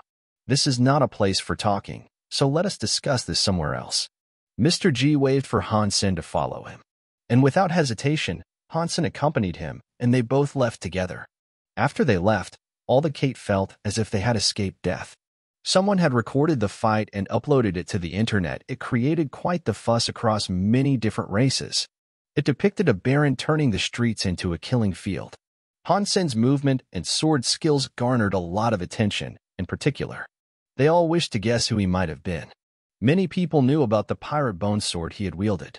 So many guessed that he belonged to Pirate. But Pirate lacked people with techniques and talent as impressive as what the video showed. While the sword skills known by Pirate were strong, they were not as strong as Han Sen's. The form Han Sen had filled in on the ship was revealed. It identified his race as human, and his name as Dollar. No one had heard of humans before, so no one knew where Dollar might actually be from. But many creatures remembered that human and dollar combo from that day onwards. It's that asterisk shoal. On a pirate ship, a beautiful young lady was watching the video. She gritted her teeth. It was Haya, after she had been robbed, she set out in search of Han Sen, but all traces of the man had vanished. She believed it would be extremely difficult to find him, and the last thing she wanted to hear was that a baron had made such bloody use of her pirate bone sword and killed a Xenogeneic viscount amidst it all. Haya watched the video and recognized both Han Sen and the sword. She was so mad, she really wanted to kill him. Haya, this dollar stole your sword. A man was also watching the video, and he looked greatly surprised. Yes, Uncle Rog. You need to teach him a proper lesson and get the sword back, Haya said to the man in a voice that she thought would sound cute. Although Haya hated Han Sen's guts, his display of power had impressed her. It would be difficult to find another fighter that could equal him, especially among the barons. She knew if she was to exact revenge, she couldn't do it alone. Rog sucked on a lollipop contemplatively. As he watched the video, he said, Powerful guy. I'm afraid someone of the same tier would not be able to kill him. He is just a baron. If you want to kill him, it shouldn't be difficult for you. Haya clutched his arms tight. Rog blinked and said, My little Haya wants help? Eh? But you do know that if one of us pirates seeks vengeance, we must do it by ourselves. Unless you die or something, of course. If I help you, Grandpa Pirate will kill me. Rog. Uncle. It is only the two of us. If we don't tell him, he won't know. Please help me. Haya started to swing his arms. Fine. Fine. Stop shaking me, Rog said. So, you agree? Haya sounded excited. I can't actually do this myself, of course. You'll have to get the sword yourself. Otherwise, Grandpa Pirate will kill me. Uncle. Rog sucked his lollipop with a smile, and then he said, I can most certainly help you level up to be a Viscount, though. He is strong, but if you are a Viscount, killing him won't be difficult. She looked upset at first, but after hearing his offer, she seemed much happier. She said, it would be good to kill that asterisk shoal myself. How can I level up to be a Viscount in a short amount of time? This is the genome material I was able to retrieve from a marquee whale. It is from the Lightning Sea. I made battle pills from it. The next time you practice, consume one. I believe that within 10 days, you can become a Viscount. Rog gave Haya a bottle of the stuff. Haya accepted the bottle and bared her teeth, saying, Dollar, I am going to take your life. Chapter 1791 Demon Grave. Demon Grave? Han Sen frowned and looked at Mr. G. Mr. G nodded and said, Yes, Demon Grave. It was an ordinary Xenogeneic space, but a battle once transpired there. Something went awry. Anyone who enters there now has their powers suppressed to the level of an ordinary bumpkin in Geno armor. Even a king would be like a commoner there, and the same applies to any weaponry that enters. There's a place like that? What happened there? Han Sen asked. You have seen how powerful that Kong Fei is, yes? The one of no, Mr. G inquired. Han Sen had a front row seat for that particular show. He nodded and said, Yes, I have. Demon Grave is the result of two elites like Kong Fei having a brawl, Mr. G said. It is useless to try and resist the suppression of that zone. Your strength won't mean squat there. You will be a commoner when you enter. The strongest people that opt to reside there are ones like you. It is true skill that sets them apart. When you are there, you might find yourself able to kill a king. Why am I going to that place with you? Han Sen frowned. A place like that did indeed seem to be good for him, but Han Sen didn't think he was invincible enough to march in blindly. The Geno universe, in one way or another, had the falsified Sky Sutra. Demon was not the strongest race, though, and that meant there were powers out there that were even greater than it. Han Sen did not think Mr. G would be invincible if he went to this place. Furthermore, his power would be greatly suppressed. Death would find him easier there, so that wasn't good. The legends say two god elites fought for a treasure in Xenogeneic space, and that was how the place became Demon Grave. I am unsure which of them might have managed to take this treasure, but after their battle, there were many Xenogeneic plants. The fruit they bear is very mystic, and I will need just one of them. I am hoping you will be able to go with me to retrieve it. If you aid me in this venture, you will be highly rewarded, Mr. G said seriously. If these fruits can provide such a big benefit, and they are still there for the taking, this place must be quite dangerous, Han Sen said. Mr. G did not want to hide these facts. He picked up some notes and then laid out everything he had gathered. Demon Grave has a lot of xenogeneic plants, but there are no xenogeneic creatures there. Don't worry. But inside the place, there is an indigenous race. They are the lesser sort of race that can only wear Geno armor. None of them can become nobles. Growing up there, however, allows them to munch on as much of the xenogeneic fruit as they want. They cannot become proper barons, but their raw strength is higher than the average soldiers. They are roughly the equal of an average baron. Mr. G went on to say, if they are outside that place, it matters little how strong they are. They are, for all intents and purposes, rubbish. Inside Demon Grave, however, even a king might lose to them. They're our biggest enemy to fear. Han Sen surveyed the information in front of him, and he found that most of the papers were drawings that had been done by hand. There weren't any actual videos or surveillance photos. You cannot use tools in there. This is all we have, so take a look, Mr. G explained. Han Sen kept on looking at the pictures that had been drawn, though, and he admired the artistic qualities.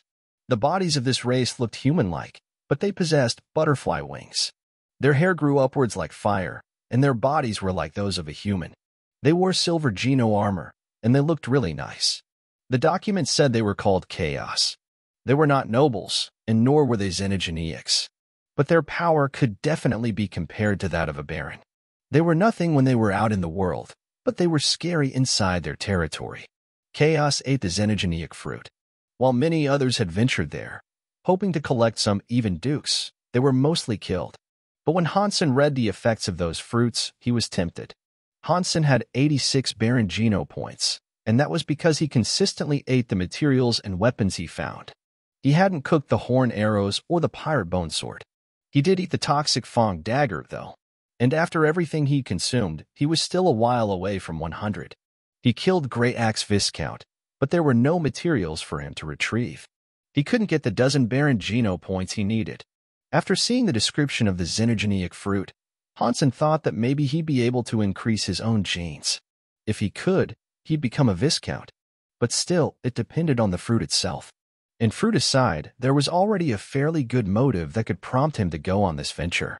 If he was able to get a few of the fruits, he could at least swap them for materials, too. Aside from the one I need, you can keep any others you collect. If I get the fruit I want, I will give you a Viscount armor that was forged from xenogeneic material. The defense of the gear is as good as it gets. When Mr. G said this, Han Sen was unbelievably tempted to join him. Not only was it the prospect of Viscount armor, but being able to keep collected fruit was wondrous, too. Han Sen really wanted to go. Mr. G, seeing Han Sen not saying a word, still looked hesitant. So he took out his phone and showed Han Sen a visual of the armor. The armor was blue and made of scales. It looked like a fish scale armor set. Mr. G smiled and said, This Viscount armor is called Aquascale armor. It is made from the scales of Viscount Aqua scale snakes. Each snake only has one scale, so it took 265 to make this set. If you think I'm worth all this, then sure, I will come with you. Han Sen smiled and agreed to the trip. He looked calm and composed, but inwardly he was drooling over the potential rewards. 265 Viscount materials was incredible. Seeing the armor, Han Sen didn't want to wear it. He wanted to eat it that set of armor could take him from Baron to Viscount, and from Viscount to Earl. That was not an armor set. That was a recovery soup. Chapter 1792 Crystal Fruits Mr. G told Han Sen that the aquascale snakes were a powerful race, but of the lesser variety. They were strong enough to challenge the higher races that were in the Geno Hall. They had tried once, but fell short of being able to claim a lantern. The high race had killed almost all of them in return for the boldness. The aquascale armor was made from the xenogeneic snakes that had died in the battle. It eventually came into Demon's possession, and then Mr. G's personal ownership. This trip to Demon Grave was important, and it had been very difficult to find someone of Han Sen's caliber to help. Therefore, the price was of no object. After accepting Mr. G's invitation, Han Sen noticed not just anyone could travel to Demon Grave. When Demon Grave was created, a few of the higher races established a rule. They could send people in whenever the entrance opened up, but only within certain limitations. Demon was a part of the ensemble that had made this rule. They could send a group of four inside, but two of the party had to be demons. Since two members of the party had already been chosen, Mr. G only had one space remaining. He was originally planning on bringing his maid, but after seeing Han Sen, he changed his mind. He preferred to bring Han Sen instead of her. Mr. G wasn't stupid, though. He had insurance to make sure that Han Sen tried his hardest the maid was an Earl Elite. and there'd be other demons on standby outside. Things wouldn't turn out very well for Han Sen if Mr. G didn't return alive. Demon Grave's entrance was near Planet Kate, but because it was not yet open, Mr. G had been waiting around, observing how the tourists attacked. He could not believe that he had stumbled across someone like Han Sen here, of all places. Two days later, Mr. G took Han Sen with him to leave Planet Kate's surface. They didn't go far, though. The entrance to Demon Grave was on a natural satellite that orbited Planet Kate. Because of the fight, the energy of Demon Grave was erratic and volatile. Sometimes, Demon Grave would suppress elites so strongly that they would die before they could even set foot on the ground. So, the only option was to enter during a fluctuation of the atmospheric energy. They would enter when the energy was weak, and leave before it became strong again. Han Sen followed Mr. G to a base that the elites had built. There were no other higher races there. The guards in the base said that one demon had already taken a person into Demon Grave. Mr. G took Han Sen out of the base, headed for a barren planet. Mr. G told Han Sen he had arrived late on purpose, and so they wouldn't be entering with the others. The natural satellite was the size of the moon, so it wasn't big. It was very empty, too. It was covered in yellow sand and cactus-like plants. When he stepped out of the base, he noticed that the sand stretched out to endless horizons. Rather than being on a tiny moon, it just felt like he was in a random desert somewhere. Han Sen knew he had entered Demon Grave, however. This was the result of the xenogeneic space's dimensional twisting. Mr. G, as he kept on walking, told Han Sen, We have entered Demon Grave now, and there is something I must tell you. Go ahead. Han Sen was not surprised by this. Before he had agreed to come, he knew some sort of information had been kept from him. The fruit that we're after this time is special, even for Demon's Grave. But it also means we have to go in deep. It is in the land heavily ruled by chaos. So we need to ensure we are prepared, Mr. G said. Han Sen shrugged his shoulders and did not say anything in response. Even though Mr. G had not told him this before, it was something he already expected. He was offering a lot to Han Sen, so there had to be something unusually dangerous involved. That meant Mr. G wouldn't have been very confident in the venture, either, if he was to go alone. He really wanted Han Sen to go with him. Inside Demon Grave, our lives are tethered. If you die, I die. If you live, I live. So, if there is anything I need to know, it is best you tell me now. Don't hold back something that will bite us in the asterisk SS later, Mr. G said. Han Sen smiled and said, Don't worry. This is a trade. You're paying for the service, so we each have an obligation. You? Money. Me? Effort. We humans have standards. Hearing him say that, Mr. G did not respond. With Han Sen in tow, he continued moving forward. Not long after, Han Sen felt a little sick. He was feeling weak. After a few dozen more miles, he was feeling extra tired. Demon Grave suppresses outsiders a lot.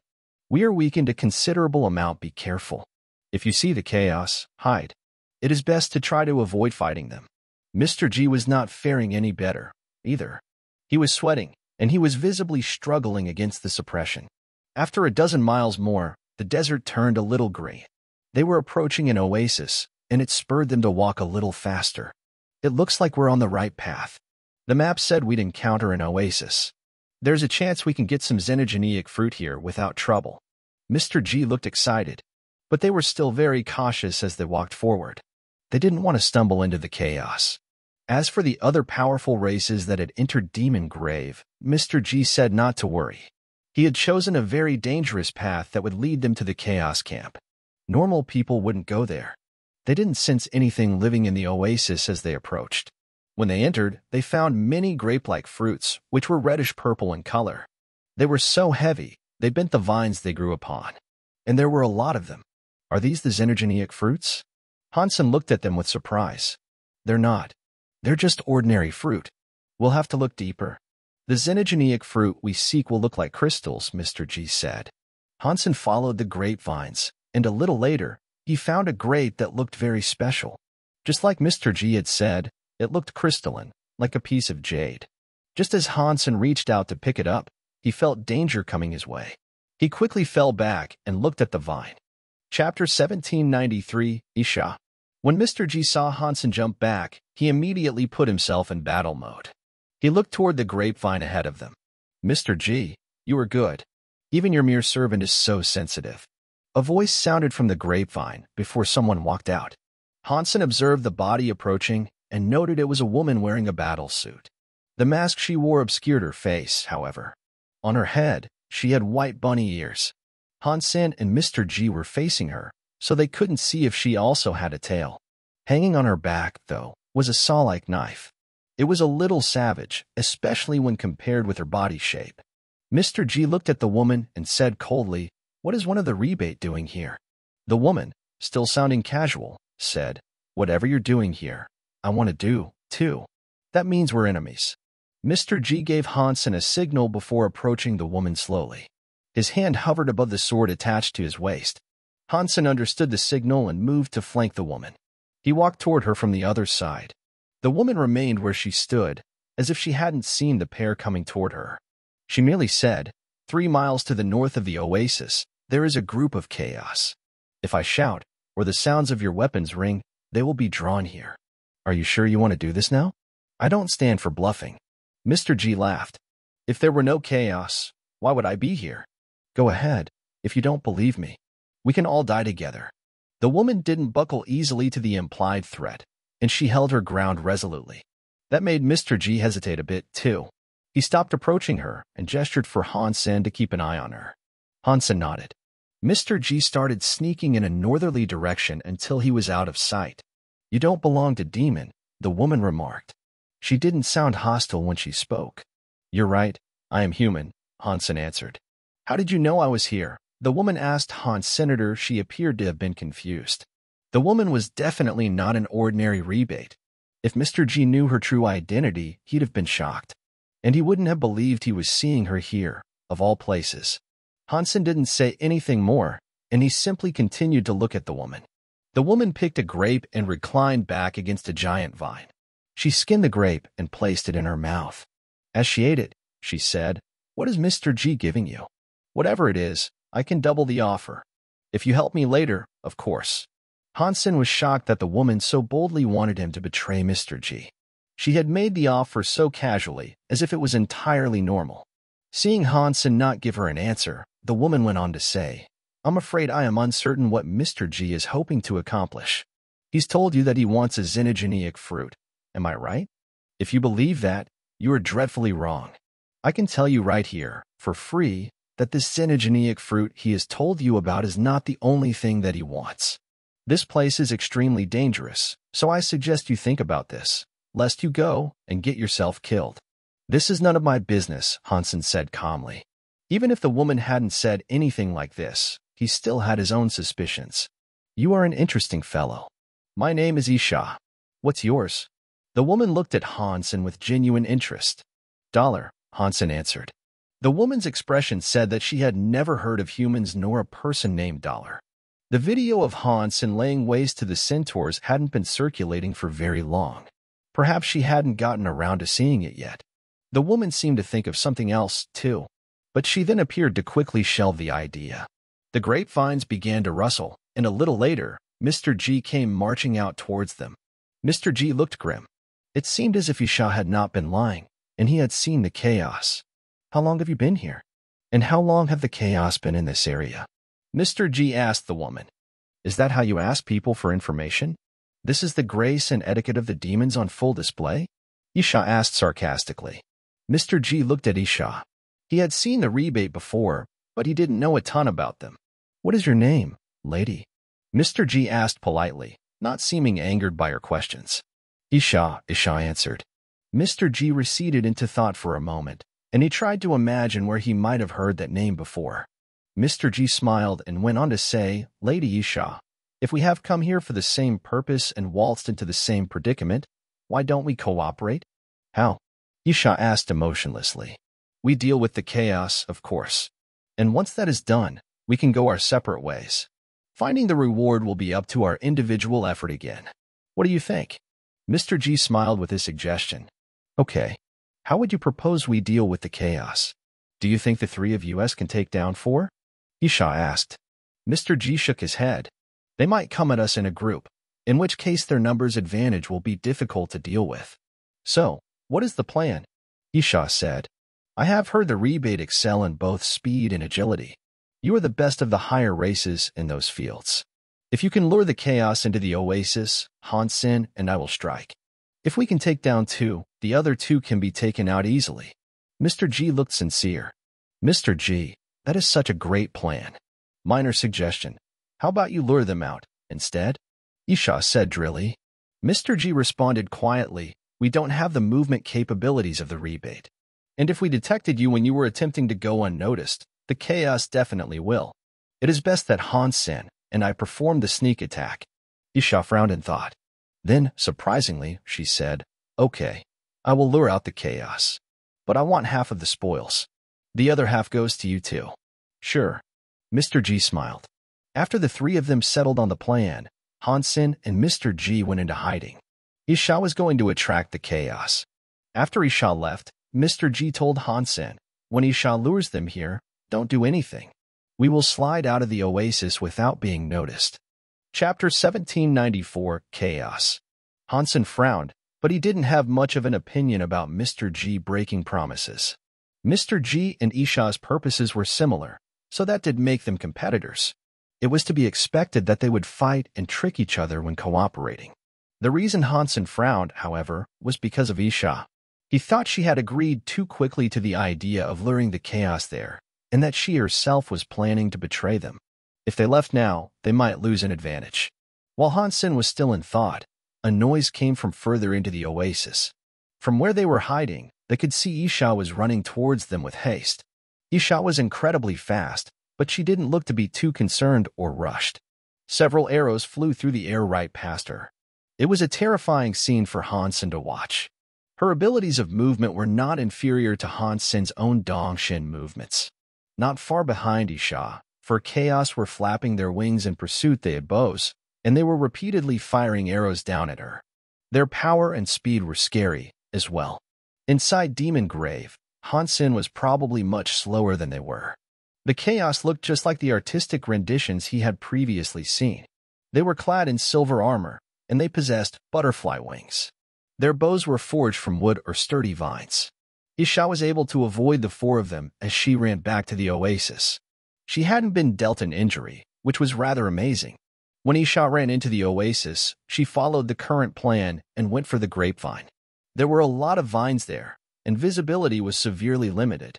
The chaos flew down to the ground and began making their way through the vines. The backs of their wings were weird. When they were open, they were open wider than a man with his arms stretched out. When they closed, they threaded together to look like a cape. The four Chaos were next to them now. Han Sen looked towards Mr. G, who was looking back at him, shaking his head. He was telling Han Sen not to do anything. The four Chaos did not notice Han Sen or Mr. G's lurking presences. But after they had passed, Mr. G signaled for Han Sen to go to where the Chaos had initially come from. Han Sen followed Mr. G out of the oasis, but not long after they left, they heard an angry shriek from behind. The four Chaos suddenly appeared, coming right for them. Mr. G and Han Sen's hearts jumped. There had been no fighting in the oasis, and yet, the monsters were now coming right for them. Isha was nowhere to be seen, either. That was weird. They did not know how Isha had gotten rid of the chaos, but the four creatures had obviously reversed direction. They were clearly coming for Han Sen and Mr. G now. The pair couldn't spend much time thinking it over, though, and so they focused on trying to run. While they might not have been able to outrun the creatures, they couldn't just stand around doing nothing. After running a few steps, Han Sen quickly realized that they couldn't escape this predicament he shouted at Mr. G and said, run back to the oasis. We can't proceed like this. Okay, Mr. G agreed, and he quickly turned around. Han Sen turned around, too. He wanted to return to the oasis. There would be foliage and other things that could be used to block and confuse the creatures. Han Sen ran for a while, but Mr. G did not come back. He kept on running the other way, using Han Sen to get rid of the chaos. Han Sen stayed silent, though, and he did not turn around. He kept going back towards the oasis. The chaos were moving incredibly fast, and Han Sen had been running for a while, hoping to breach the oasis from another side. All of a sudden, though, he slid to a stop. Many arrows came flying forward. Han Sen quickly employed Heavenly Go and his Dongxuan movements. As he bobbed to evade each arrow, he continued heading for the oasis. The four Chaos had been unable to shoot Han Sen, so they instead drew their swords and swooped closer. They wanted to stop Han Sen from entering. Han Sen didn't use his pirate bone sword, though. A xenogeneic weapon like that would be weaker in such a place. Using it here would be a great waste, and if it ended up getting broken, that'd be terrible. Amidst Han Sen's dodging, he decided to try to pick up the wooden arrows that had been fired at him. He threw them back at two of the chaos and rolled. Then, he picked up another two wooden arrows. He threw those at the other two. The chaos chopped the approaching arrows down with their wooden swords and continued after Han Sen. Hansen grabbed more wooden arrows, using them as melee weapons to deflect incoming sword strikes. Pang! The sword hit his arrows with devastating force, and Han Sen stumbled back with bleeding hands. His chest ached, and he coughed up a little blood. Before Han Sen landed, a chaos was running at him again with its sword drawn. It wanted to cut Han Sen in two while he was still in the air. But Han Sen moved like a bird and avoided the strike. He threw a wooden arrow toward the two chaos that were running at him. The two chaos swung their swords to cut the arrow down, but suddenly the arrow moved low and went past them. Han Sen thought Drillhead could be of benefit since he was using the arrows at such short range. But the speed and skill of the two that came against him now were too much. They dodged the arrow that had come right before their throats. These guys are hard to deal with. Han Sen thought in his heart he didn't stop moving, though. And while those two dealt with the arrow, he went to face the last chaos ahead. That chaos was a woman. Her wooden sword was not heavy like those of the other three. She swung her sword like it was a banyan branch. A multitude of shadows flashed through the air toward Han Sen, like a net ready to snare him. But Han Sen did not hesitate. If the three chaos caught up, Escape would be incredibly difficult. Like a ghost, Han Sen headed towards the net with his horn arrow in hand. Catcha. The Viscount rank horn arrow was struck by the wooden sword and broken. But Han Sen used this chance to escape the sword net, and before he had time to feel sad over his loss, he was headed for the oasis. The four Chaos continued shouting angrily, but none were able to stop Hans Senator, and in the midst of the oasis, it was easy for him to hide. After a few more dodges, he was able to race into the grapevines. Chapter 1795 The Fight on the Statue After entering the area with the grapevines, things became much easier for Han Sen. The fighting skills that the four Chaos employed were rather simple and a little clumsy, but they weren't weak. One versus one, Han Sen might win. But against four of them at the same time, there was a high chance he could stumble and fall. Han Sen used all the judgment, prediction, and movement that his skills gave him. He did this so he could fight them more effectively in the grapevine area. Han Sen kept escaping in the direction that Isha had fled. But Isha herself was now headed in the direction Mr. G had gone, so Han Sen was unable to see her. If she had not been killed, she should still be in the grape area. Han Sen was still curious about how she had managed to get rid of the chaos that were chasing her. The four chaos ardently pursued Hans Senator, he was able to kite and keep them at bay, though, keeping them from dealing any damage to him. In this manner, they went deep into the grapevines. In the beginning, Han Sen could catch glimpses of Isha's trail. But after going this deep, he had lost sight of it.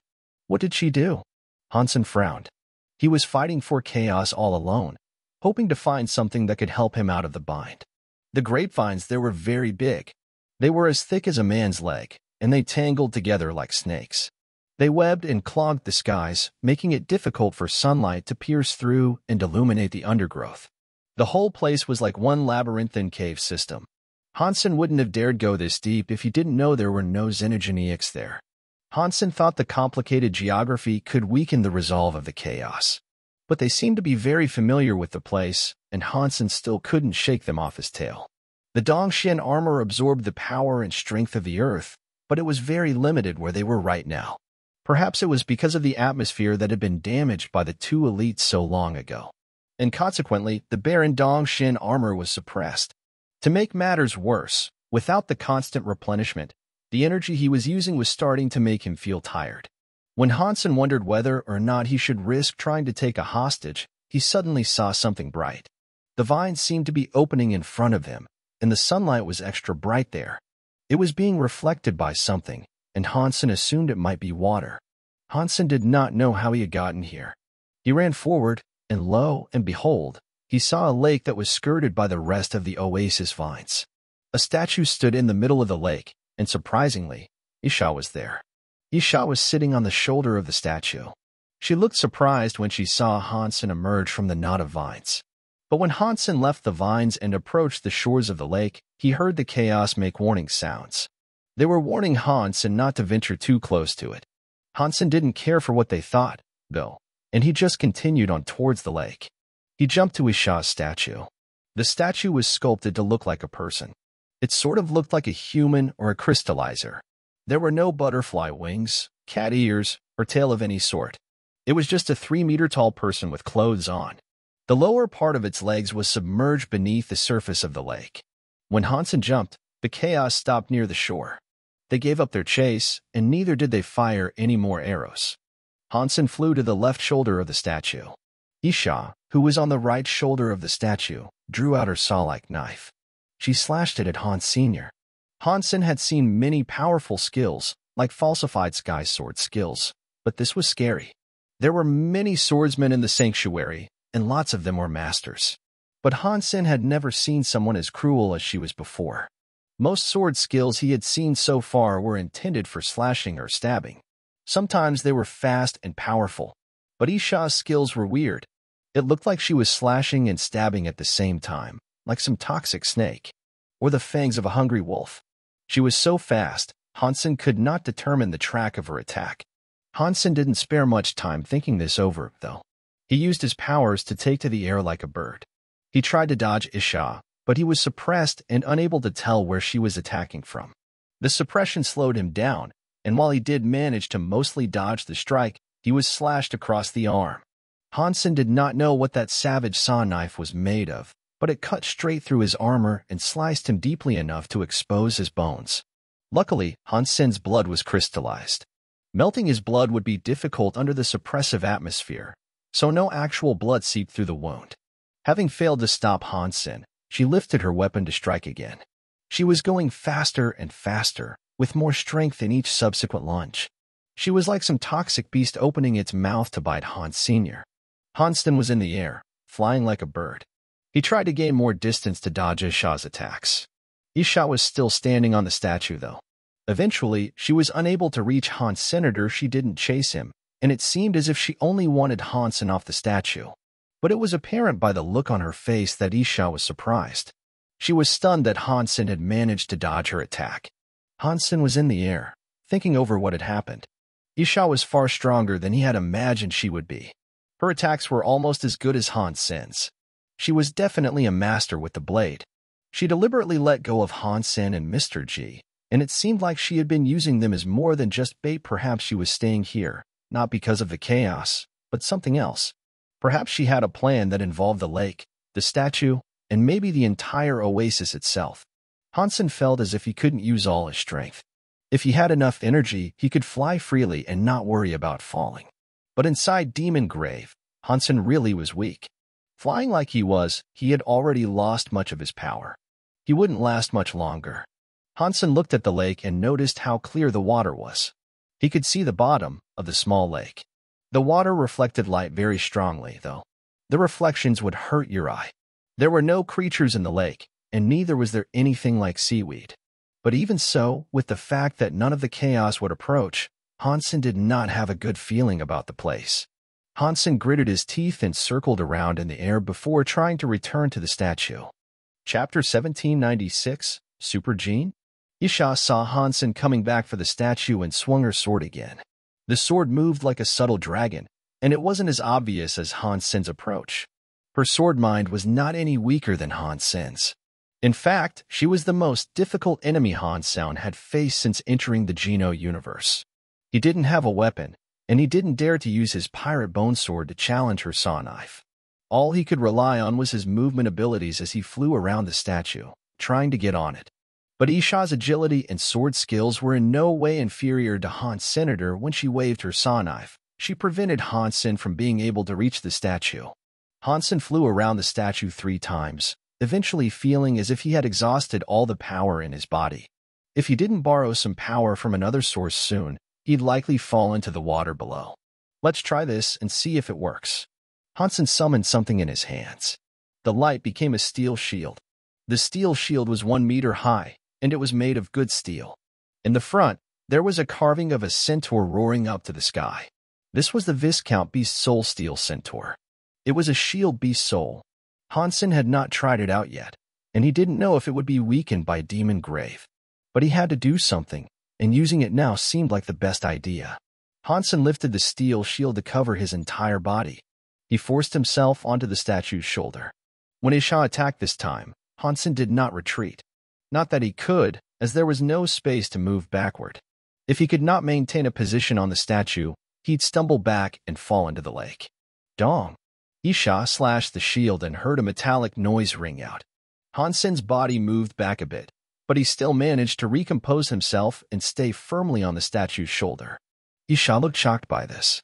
Her eyes looked at Han Sen's shield, unable to believe it had managed to block her saw knife and save Han Sen's life. The serrated knife was like a mouthful of teeth, heading right for Han Sen. But Han Sen had already regained his footing on the statue, and now his stance was firm. He had a shield to block Isha's saw knife. He wasn't afraid anymore. They were both fighting atop the statue, and Isha's sword skills still proved themselves to be tremendously spooky. But Han Sen was hiding behind the shield. She slashed dozens of times, but she failed to break the steel surface of the shield. Han Sen was thrilled. Apparently, Demon Grave Suppression had no effect on beast souls. Therefore, beast souls were very handy to have in that place. Han Sen hated himself for not having any other beast souls right now. If he had a bunch, he'd practically be invincible in this place. Isha continued fighting for a while, but eventually stopped. She stood on the right shoulder of the statue, staring at Han Sen who stood atop the left shoulder. She said, Why aren't you following Luoji? Why did you come back this way? Han Sen shrugged his shoulders. Keeping himself behind the safety of the shield, he sat down carefully and said, Mr. G ran off, so I decided to come back here. Isha stared at Han Sen and sat down as well. She felt exhausted after doing so much fighting, too. She was a noble belonging to one of the higher races, but the demon grave had an even worse effect on her. Her body was no greater than Han Sen's in this place. Now that Han Sen had the time to look over the statue properly, he noticed that there was a word engraved on the statue's neck. The carving was a little rough, as if it had been added after the statue was made. Han Sen looked a little closer, and when he did, he was given a shock. He knew those words. They weren't Kate characters. It was a language belonging to ancient humans. Super Gene? Two words followed by a question mark. When he saw those words, Han Sen was shocked. The most shocking thing was how familiar the writing looked. Han Sen had previously seen a note written by his great-granddad Han Jinji. It had said Super Gene. Now, the same words and question mark were on this thing. The handwriting was identical, too. Han Sen looked at the words as his mind raced. Han Jinji was here? Why did he write this down? Why is there a question mark? Why is Isha here? There were so many questions racing through Han Sen's head, but he could not come up with any answers. Do you know these words? Isha suddenly asked Han Sen. Han Sen was wearing his Dongxuan armor, so she could not see his face. But Han Sen had jerked slightly when he saw it, and he had stared at it for too long. I can read a bit. Han Sen did not deny it. Isha looked happy and asked, What does it say? Han Sen looked at Isha and her smile and said, What's written there is not complicated. Tell me why you are here. Isha immediately frowned and said, I know something is strange about this place. Perhaps there is treasure waiting to be found. Do I look retarded? Han Sen asked, looking at her. No, Isha was shocked. And don't treat me like I am. Han Sen lifted his lips. The scene went quiet. Han Sen began looking over the statue to see if he could find any other writing. If Han Jinji really did write those words, he wouldn't have done so for no reason. Han Sen looked everywhere, but there were no other words. It was quite disappointing, and furthermore, he could no longer see the chaos. He wasn't sure where they had gone off to. Who does this statue represent? Is it be a human or a crystallizer? Han Sen wondered. Suddenly, the sound of bubbles was heard from down below. He looked down to the lake, and it seemed as if the water beneath them was boiling. But Han Sen didn't feel as if the lake was getting any hotter. And there were so many bubbles emerging, you could not even see beyond the surface. Dollar, do you want to live or die? Isha asked suddenly, looking at Han Sen. Chapter 1797, Treasure in the Lake. What do you mean? Han Sen asked, with a frown. If you want to live, listen to me and follow my instructions closely. If you want to die, death can come easily. Just take a look at the wound on your arm for assurance, Isha said coldly. Han Sen was shocked, and he looked at the wound on his arm. The tear on the Dongxuan armor was still there. It was difficult to recover in that place, but despite that, his wound had already healed. Han Sen's healing abilities were remarkable. He had a xenogeneic body, so he wouldn't bleed. His healing abilities were better than the average Viscount's. After examining his wound, he determined that his arm was in good shape. His wound was going to be fine, and there wouldn't even be a scar. But just as Han Sen started to answer her, he felt pain stem from his wound. Somehow, the mostly healed skin had come undone. In a second, the wound had reopened as if he had just been injured. He almost cried aloud. Isha said quietly, You were hit by my teeth power. If I want to, I can ensure your body never heals, and any recovery you make can be broken. I can do this repeatedly until your entire body breaks. Even if you leave Demon Grave and find a king, class elite for aid, not even they will be able to break my teeth power. Not that you could find someone like that, but it would only take two weeks for me to rip up your whole body. Han Sen did not respond, but he could definitely feel that his wound was slowly tearing wider. It was slow, but difficult to control. It felt like there were a number of teeth in the wound, digging into his body. He tried to control it, but he could not stop the skin on him tearing further and further. The only reason it would take me two weeks is because of your ability not to bleed. If you did bleed, you'd be dead within a day. Isha looked at Han Sen's wound. Han Sen's bloodless wound was a strange sight for her. Her teeth power could break through flesh and speed up any bleeding process. Even those who incurred the slightest of wounds would bleed profusely, but Han Sen hadn't bled a drop. Han Sen's face didn't change, and he asked Isha, What do you want me to do? If you want me to die, you don't have to say that. Isha sighed and told him emotionlessly, I need you to do nothing. Han Sen understood what she meant. She wanted him to stay where he was, do nothing, and avoid disturbing her. If you can stand still, you won't disturb my business. We can avoid a feud, and I promise you that when we leave this place, I will remove the teeth powers I have inflicted upon you, Isha said. Han Sen neither agreed nor disagreed, but he did say, as long as you're not putting me in danger, I can abide. Isha frowned. She was not happy with Han Sen's manner of promise. More and more bubbles were appearing in the water, like a large jacuzzi. The bubbles had lovely acoustics, with their constant popping. But amongst the many bubbles, Han Sen saw a black bag. What it was, he did not know. Remember what you have told me. Otherwise, you'll be wishing you were dead, Isha told Han Sen threateningly. She stared at the black thing in the lake, then, ignoring Han Sen. What is that? Han Sen looked at it. Isha ignored him. She continued staring at the lake, as if he did not exist. Han Sen, getting ignored, did not speak. He was thinking if there was some manner of nice treasure down below, he'd like to steal it. He didn't believe the promise Isha had made him. Once they left Demon Grave, it was likely she wouldn't remove the teeth power. It was possible she'd just kill him. Isha took whatever was inside the lake seriously. If he could steal whatever it was, even if he could not use it himself, it might work as leverage over Isha. Whatever the thing in the water was, it was moving faster and it produced a large number of waves. But then, suddenly, it burst out of the froth of bubbles. When Han Sen was finally able to see the item, he was shocked. Han Sen had expected to see something like a fish or a snake. He wouldn't even have been surprised if it was a dead body, as anything could happen in that place. But when Han Sen saw a scabbard come out of the water, he was shocked. It would make sense if it was a blade, as it could easily be deemed as a treasure of some worth or perhaps even a Geno armament like the Northern King Glove. But it was just a scabbard that jumped out of the lake, minus a blade it could house. What use would a plain scabbard be for three no armcle? The scabbard was black, but it wasn't a matte color. It was crystalline, like some sort of black diamond. The scabbard hopped out of the lake like a fish. Its movement looked almost happy. What is this scabbard? Han Sen asked. When Isha continued ignoring him, Han Sen summoned his last horn arrow. He was going to shoot at the black crystal scabbard. What are you doing? Isha was shocked, and her saw knife immediately swung toward Han Sen. Hansen ducked behind his shield and laughed. I hate being lonely. If you don't talk to me, perhaps I will do something weird. Don't take it out on me if I happen to ruin your business here. Isha's teeth were getting itchy. If someone like Han Sen had spoken to her in such a manner outside of Demon Grave, she could have had him killed a million times over with a mere wag of her finger. Rebate Sword Queen was half a god. Even kings tended to avoid her.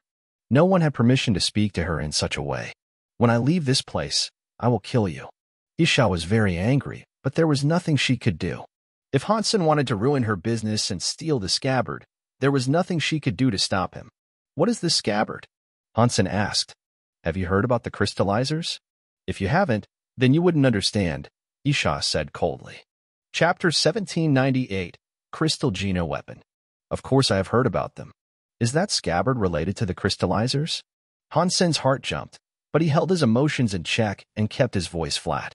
If you know, then why do you ask? Isha replied icily. I have heard about this race, but I do not know much about them. Please explain it to me, but please be aware, if I am bored, I may do something unpredictable. Han Sen smiled as he fondled the horn arrow. Isha hated Han Sen, but she clamped down on her anger and said, the crystallizers were a new race of the Geno universe. They were here for a short amount of time, and their evolution process was fairly average. In fact, it was worse than some of the lesser races. But the crystallizers were wonderful with Geno technology. They created a crystal Geno weapon that could enable normal Geno fighters to battle against dukes, marquis, and even kings. Something that strong resides here? Han Sen was shocked. He thought the crystallizers had been unable to become strong, and had thus been destroyed. But with her saying this now, he was learning that while their bodies were not strong, their weapons did not seem weak. Isha ignored Han Sen and continued to speak. After the crystallizers created their crystal Geno weapons, they grew in strength. They were ambitious, and they even sought to claim a position in the Geno Hall. But their strongest leader was merely a duke. He wasn't even a king-class fighter. No race with such limited power had ever tried to challenge a position in the Geno Hall before but they failed. It seems like the Crystallizes' crystal Geno weapons were inferior to those of King's. Han Sen could predict how it all ended. Isha looked at him with disdain and said, Shut up if you don't know anything. The Crystallizes' crystal Geno weapons were as good as the King's. If they challenged ordinary higher races, they might have indeed lit up a lantern.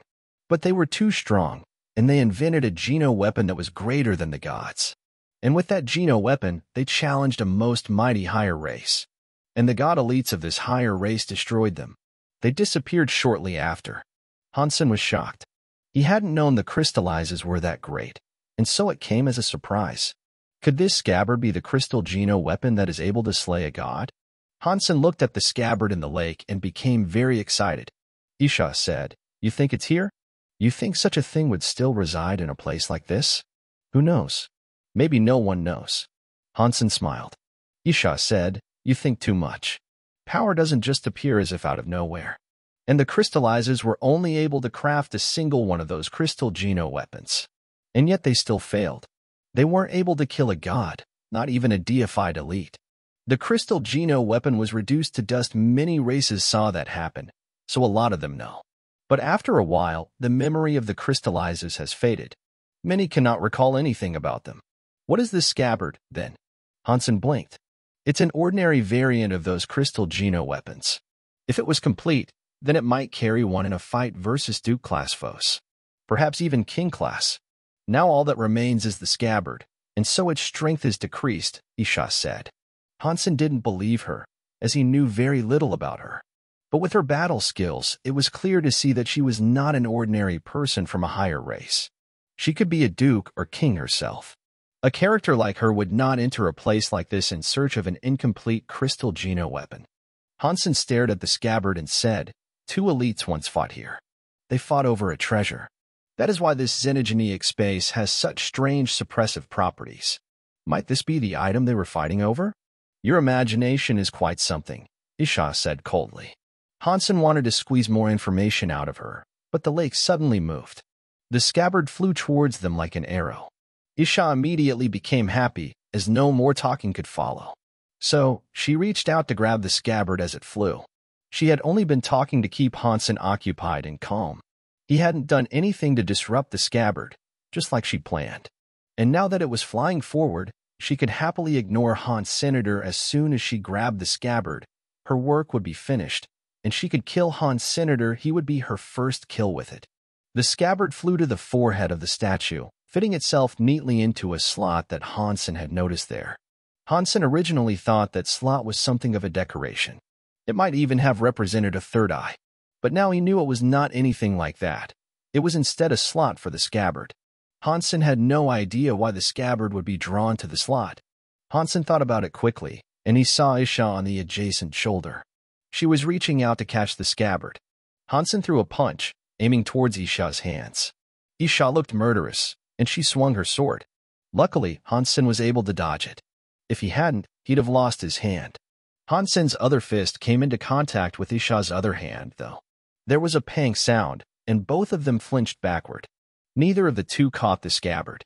The scabbard flew past the pair, fitting itself neatly into the slot on the forehead of the statue. There wasn't a single seam, and it fit inside perfectly. How dare you? Isha looked extremely glum, and she couldn't stand his presence anymore.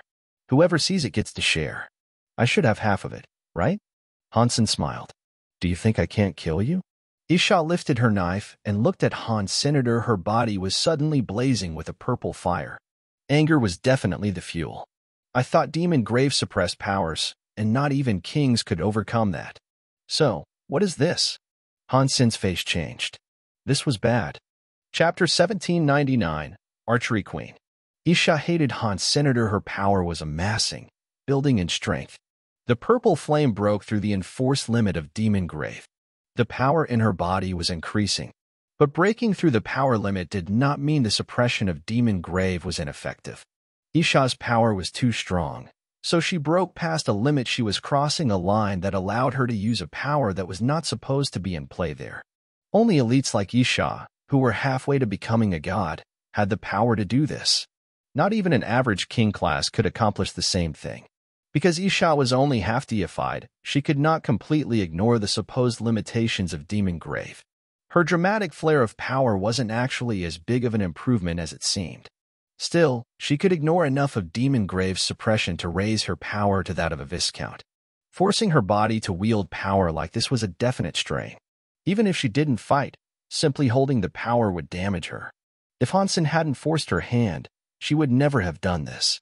But she was a sword queen, and she couldn't idly accept what Han Sen was doing. So she decided to kill him where he was, regardless of what it cost her. Isha was afraid Han Sen would steal the scabbard, and that was why she had been holding off. But now that it was inside the statue, nothing would happen. If she killed Han Sen, she could take the scabbard whenever she wanted. Now, without hesitation, she was happily unleashing her power. Although she could only raise the power of a Viscount, that was enough. Isha was holding her saw knife. She didn't swing it, but a purple flame was crawling atop it. Han Sen was holding his steel centaur shield, ready to withstand whatever attack came next. Suddenly, a sharp pain struck his arm. His flesh was exploding. The wound on his arm was coming undone. Within a second, his entire arm was ripped open, revealing his white bones. The tear was spreading across his entire body. Han Sen was shocked. If this continued, it would only take a few seconds for his entire body to be torn apart. You thought the Teet's power was that slow? That was only because it was suppressed by Demon Grave. That was why it was so weak earlier. How dare you make me mad? Today is the day you die. Isha looked cold as her purple flames increased. Han Sen's wounds were being ripped up faster as a purple mist moved along his flesh and muscles. It was scary to see. F asterisk CK. That's nasty. Han Sen shouted in his heart. He didn't hesitate as a red light suddenly appeared. It came right out of his genes, wrapping up his entire body. Because the Dongxuan armor had wrapped up Han Sen's body, you could not tell the differences below its surfaces. But inside his armor, his body was changing. He began to look like he was made of red metal. He was becoming transparent, and a powerful presence was growing within him. His super god body was activated. The tears in his arm stopped spreading, and the wounds that were covered by a purple aura were doused in white light. The purple air began to dissipate, and his wounds were starting to heal. Han Sen felt as if his previously suppressed body was no longer limited. Power coursed through his body, rumbling like a river. Isha looked at the white light overwhelming Han Sen's arm and felt the scary presence he exuded. Her face changed and she said, You, you've touched the deified door? Han Sen did not answer. He pulled out a gold bow and a white bone arrow. The white light entered the arrow, activating a slumbering power. The bone arrow shivered to life, and a white light came out of it. The Archangel bone arrow? How? Isha was shocked. She was not shocked about the presence of the arrow itself, even though it had been made from the bones of a king feather. It had king power. Normally, an enemy of king-class power was no concern for Isha. She wagered she could block it. But inside Demon Grave, she had damaged her own body to achieve the power of a Viscount, yet the Archangel Bone Arrow had the same power that it would on the outside. It was not affected, so it was scary. Retrieving the scabbard was no longer Isha's highest priority, so she flew away from the statue and departed the lake. An Archangel Bone Arrow with full power was not something she could trifle with. Buzz. Han Sen moved his finger and fired the bone arrow. It reached Isha's chest the instant it left the string. She couldn't evade that projectile. Isha was a deified elite. Even though her powers were suppressed, her reaction was still quite fast. She lifted the saw knife in front of her chest, and the bone arrow hit the blade. The holy light raged with the intensity of a volcano. It exploded against the knife when the arrow came into contact with it, and a catch a noise quickly followed. The saw knife that was still a bit powerful in there, made of an unknown material, suddenly broke. The bone arrow plunged into her chest and rocketed out of her back. It went through another dozen grapevines before its flight was halted. Blurg. Isha coughed up blood. A huge hole had been blown through her heart. She was not dead, though. She was still gathering up power. She ran into the grapevines and disappeared. Han Sen wished to give chase, but his body was feeling weak. He exited Super God Spirit mode, as he could only use it for a limited time. What a scary woman. She didn't die. Han Sen sighed, giving up on pursuing her. Han Sen turned around and looked at the forehead of the statue and the scabbard within. He grabbed the part that was sticking out slightly and tried yanking it out. When Han Sen pulled on it, it refused to budge. After a few more pulls, it still didn't come free. Chapter 1800, Knife Mind. Han Sen pulled at it a few times, but he was unable to remove the scabbard. It surprised him. Before Han Sen could make another move, he felt as if the scabbard had a beastly knife mind. It came for him like a monster, as if it wished to consume him. Han Sen frowned as his own sword mind began to battle back against the knife mind. The knife mind would not damage Han Sen's body, but it was consuming Han Sen's own sword mind. His will was being swallowed along with it. If his will broke, even if he was not injured, he would lose his confidence to fight against strong opponents in the future. Han Sen's sword mind was rather scary, but it was shocking how much more terrifying the knife mind was. If Han Sen's sword mind was likened to a strong bull, then the scabbard's knife mind was like a dragon. It did not matter how strong the bull was, it ate grass.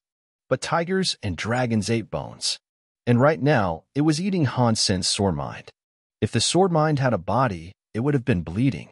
Furthermore, this knife mind felt familiar to Hans Senator Isha's knife mind was very similar to it.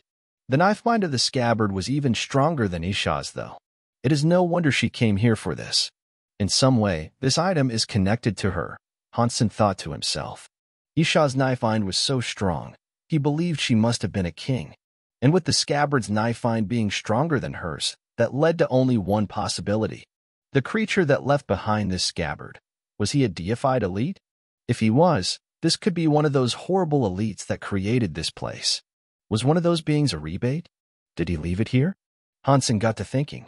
Still, Han Sen didn't think that was quite right. If it had been left behind by one of the rebate, why would Isha wait until now to reclaim it? After all the years that had passed, why now? Han Sen did not have the time to mull this over right now, though. So he used his will to do battle with the knife mind. Even so, it was very difficult trying to battle that particular beast Han Sen's will and sword mind kept getting chomped on. Han Sen's will was waning, bit by bit, and it felt as if the knife mind was gradually getting stronger. Han Sen wished to leave, but his will was being subsumed, and he could not move. If he moved, the knife mind would enter him completely, ravage his mind, and utterly annihilate him. As Han Sen wondered what he might be able to do to escape this, the black crystal armor inside his sea of soul suddenly moved. It generated a strange energy. When that energy entered Han Sen's body, the scabbard rattled. And then, the knife mind relented and eased up a little. The scabbard shook and vibrated in its slot, enabling Han Sen to pull it out with ease. The black crystal armor's energy circulated all around Han Sen, and then went back into his sea of soul and into the armor. Then, the black crystal armor became quiet again. It went back to being its normal self. The energy had vanished again, but the scabbard did not unleash any more of its wicked knife mind in retaliation. All it did was pulsate inside Han Sen's hand. Han Sen did not know why, but he felt as if he could feel exactly what the scabbard was feeling. It felt excited, surprised, and scared, all in one. Han Sen was surprised, too. He did not understand the connection between the scabbard and the black crystal armor, and he could not fathom the reason why the black crystal armor could make the scabbard behave this way. Does this scabbard belong to the rebate or the crystallizers? Han Sen wondered to himself, but settled on the thought that it belonged to the crystallizers more. As Han Sen pondered this, the knife mind of the scabbard revealed itself again. But this time, it did not opt to consume Han Sen's will. It was actually fitting itself into Han Sen's will nicely. Han Sen felt as if he had become an old beast and that he was eating the world around him. The universe and everything else would be wholly swallowed by him. The power to munch on the universe felt pretty good. The beastly power of consumption was inside Han Sen's mind. And a second later, the beast transformed into a knife. It was one that looked familiar. The appearance looked just like Isha's knife, but the energy inside it did, admittedly, feel worse. Although the appearance was identical, comparing Isha's to Han Sen's knife was like comparing a real blade with a toy one. That knife was held by a man, but Han Sen couldn't identify the man's face. Still, he could faintly make out the shape and tell that the head had ears. But it did not matter. The man who held the sword was like a demon that was destroying the world. He slashed, breaking the galaxy as countless things were consumed. A countless number of planets were destroyed. Even space itself was slashed open. Slash after slash, that destructive knife skill was scary, but at the same time, it felt really good. Every time the figure slashed, Han Sen could remember it. Han Sen's mind opened, becoming familiar with the knife skill and the knife mind. Subconsciously, Han Sen swung the scabbard to imitate and follow the man. Slash after slash, Han Sen's knife skills were creating that same consuming power. And it was getting stronger, too. Han Sen's knife mind had limits, though. No matter how smart he was, this was not something he could learn in any short amount of time. Han Sen's knife mind was increasing, though. After practicing the sequence of knife skills 70 times, his knife mind was no weaker than Isha's. And furthermore, it was still growing. When it increased, the man and the knife started to get a bit blurrier. When Han Sen practiced it 100 times, the man and the knife vanished. Han Sen looked at the scabbard and noticed it no longer had a knife mind. The knife mind had been transferred to Hans Senator. The scabbard shook and started to fly around Hans Senator. It attached itself to Han Sen's waist and stopped moving. The black diamond knife's body grew dim. Now, it looked like an inkstone.